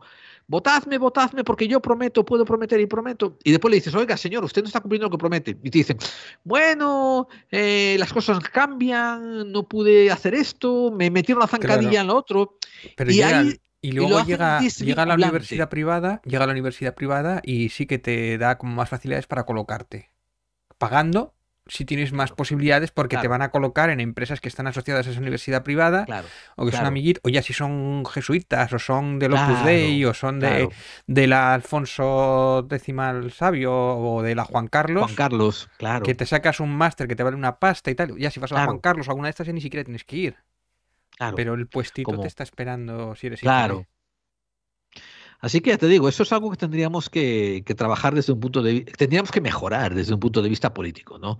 Eh, exigir una mejora en ese lado, ¿no? Claro, pero que la política que es corrupta por definición eh, le pidas que meta mano en su propia corruptela para colocar a sus hijos, mm, lo veo difícil, salvo que hagas una limpieza absoluta de todo, ¿no?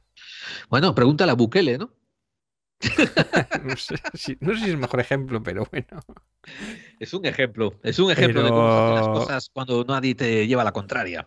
¿Viste? Y, lo estoy diciendo con mucho sarcasmo y mucha ironía. El otro estaba mirando, ayer miré un documental donde le, de verdad que lo ponían a parir diciendo, sí, vale, has limpiado las calles, has decrecido la criminalidad, pero ahora qué ocurre con el, ¿Qué, ocurre con los procesos los judiciales? Jueces, los jueces Exactamente. todos. ¿Qué ocurre con, los procesos Pero judiciales? este es un debate, esto es un debate que habría que entrar en fondo, ¿no? No sabemos si Bukele es santo o, dictador o futuro dictador, no lo sabemos. Ahora he hecho eso de, bueno, me estoy seis meses de excedencia para volver a presentarme y todo esto. Pero es que eh, eh, eh, si vemos el caso que hoy día, tenemos con los jueces, el problema que tenemos aquí con los jueces, con el, el poder judicial en España, dices tú, a veces me dan ganas de hacer el Bukele. O sea, exactamente, porque es, que, es la única manera de verdad de que todos estos corruptos eh, jueces con toga. De limpiarlos. Eh, y limpiarlos, y, de verdad tenemos que hacerlo así, y el PSOE no se atreve, igual hay una cosa intermedia también, pero Bukele lo tuvo clarísimo, o sea que allí igual la situación era muchísimo peor, claro, obviamente, ¿no? Pero entonces estoy entre... Sí, bueno, tú estás hablando ahora, tú estás hablando de encarcelamientos y estás hablando de, de, de, problema social, mientras que Bukele tenía que lidiar con muertos, muertos en la calle, ¿no? Con muertos y, tal. Entonces, sí, sí, es diferente. con jueces corruptos, pero bueno, obviamente no es la misma situación que aquí en España, pero estamos hablando también de jueces corruptos, o sea que, y al servicio de, de un poder fáctico. Así es como voy a dejar el programa por hoy y voy a preguntarle a nuestra audiencia si quieren que hablemos de Bukele y si ellos animan a venir a hablar de Bukele con nosotros, porque honestamente es algo que quiero hablarlo contigo, David. Quiero, quiero, quiero hacer un mini programita y ahora que se acerca la entretemporada quizás lo hagamos. Así que si la audiencia le interesa y alguien quiere venir y juntarse con nosotros, ¿sabe lo que le vamos a recomendar, David? Que contacte a Clave 45 en la página de clave45.wordpress.com, donde tenemos donde las vías de contacto. Ah, exactamente, no. Yo lo que iba a decir es que hicimos un programa ya sobre, sobre Bukele y un especial, además muy interesante hace varios años, que este sería como una segunda parte, una continuación varios años después, ¿no? Con toda aquella movida, además. Hay que hacerlo porque si no queda, si no quedamos como Iker, ¿no? Continuaremos, seguiremos esta noticia y hablaremos más de esto y después. bueno, revisar las figuras históricas. Se sigue teniendo el apoyo masivo de la gente simplemente por la limpieza de las calles, ¿no? Aunque económicamente no le ha salido tan bien la jugada de las criptomonedas que era lo que decíamos que tenía bastante riesgo y en su momento fue una pregunta que le hicimos además a la gente de allí. O sea que... Cierto, pero me interesa mucho más este concepto de, de hace falta de, hace falta que tengamos mini dictadores para encarrilar las cosas bien o se pueden encarrilar a través de democracias, David? Eso es, una a pregunta. Veces, a veces no es. Claro, es que esto es. Hostia, ¿de verdad hace falta hacer esto para romper el, el establishment? O sea, hay que entrar ahí y romperlo. Correcto, correcto. Correcto, es una pregunta válida, tío. Es una pregunta válida. Bueno, en la página de clave45.wordpress.com hay una pestaña que se dice Contacta a Clave45 y ahí tenéis nuestros grupos de Telegram, tenéis nuestro Twitter o el X, Facebook y tal, y meteros en los grupos de WhatsApp y de Telegram y dejarnos saber qué pensáis y si os animáis a venir a hablar de Bukele. Le mandamos un abrazo grande a nuestros amigos también que nos escuchan a través de YouTube. David, gracias por mantener la página de YouTube al día y por postear. Sabéis que podéis ir a Pites de Grau en YouTube y poneros al día con todas las cosas maravillosas que David publica, que tiene, que tiene él también clave roja, que él es el director del programa y hace una labor excelente de edición y de preparación. Y es un programa donde habla de, las cosas al día, la política cotidiana. Vas a preparar un especial de Navidad, ¿verdad? Pues no tenía pensado, pero bueno, si, si se nos ocurre algo, un especial de Navidad, algo haremos, no sé. Eh, digo que ya lo hicimos, ¿no? Que fue el de Trump. Ah, bueno, especial de Navidad. Bueno, sí, bueno, un especial de Trump, realmente, lo más acabo de publicar hoy. Es un especial ah, de Trump. O sea, no pues es el Papá Noel estadounidense precisamente, pero no es rojo, es de color naranja. Pero sí, es verdad, un especial de Trump que hemos publicado hoy, justamente hoy, día 22, o sea que ya lleva, cuando se publique esto, llevará dos o tres días en, en YouTube sobre todo lo que le, bueno, pues todos los marrones que tiene o que le van a venir, o el futuro de Donald Trump, a ver si eso no, que todavía es bastante incierto también. es muy incierto y es muy interesante desde un punto de vista geopolítico, porque la Corte Suprema de Colorado ha dicho que no puede correr para presidente y sin embargo esto está desencadenando una reacción en cadena que puede tener unas implicaciones muy, muy curiosas. Y David y yo los hablamos. sí, exactamente. Es tan incierto como su cabello, o sea que sí. Sí, sí. Efectivamente. Bien, pues amigos, esto, esto ha sido todo por, por este programa. Eh, al lado del micrófono, al otro lado del micrófono está David Santiso. Y dirigiendo todo el cotarro tenéis ahí al gran Geraldine. Y juntos hacemos eh, Clave 45, un programa para aquellos que intuyen que las conspiraciones existen. Y la próxima semana, David, más misterio y conspiración. Efectivamente, no sé si en el próximo hablaremos de mi libro, casi se me escapa, iba a meter la promo ahí. Mi libro de la distopía del siglo XXI también hay que comprarlo, muy interesante. La distopía del siglo XXI dispuesto, eh, disponible ya Aquí. en guante blanco. Guante blanco también, Oscar Fábregas ahí editándome. Muy bien, muy bien. Y eh, de esto Y- hablaremos, haremos varios programas, imagino. Hay que Fijaros, aquí. no solo eso, sino que te prometo, no la semana que viene, pero la siguiente, ya empezar a hablar de un tópico de la distopía del siglo XXI. Bien, bien, bien, bien. Muy bien, muy bien. Para Pues bueno, fanáticos sí. de la ciencia ficción. Sí, sí, sí. Así que de la ciencia ficción y también del futurismo, que quiere decir lo que nos dispara el futuro cercano. Que esto está a la vuelta de la esquina, todo lo que tú has hablado en el libro. Sí, da mucho miedo. Bueno, pues David, nos vemos la semana que viene. Nos vemos, Gerald. Un abrazo. Hasta Un luego. abrazo, hasta luego.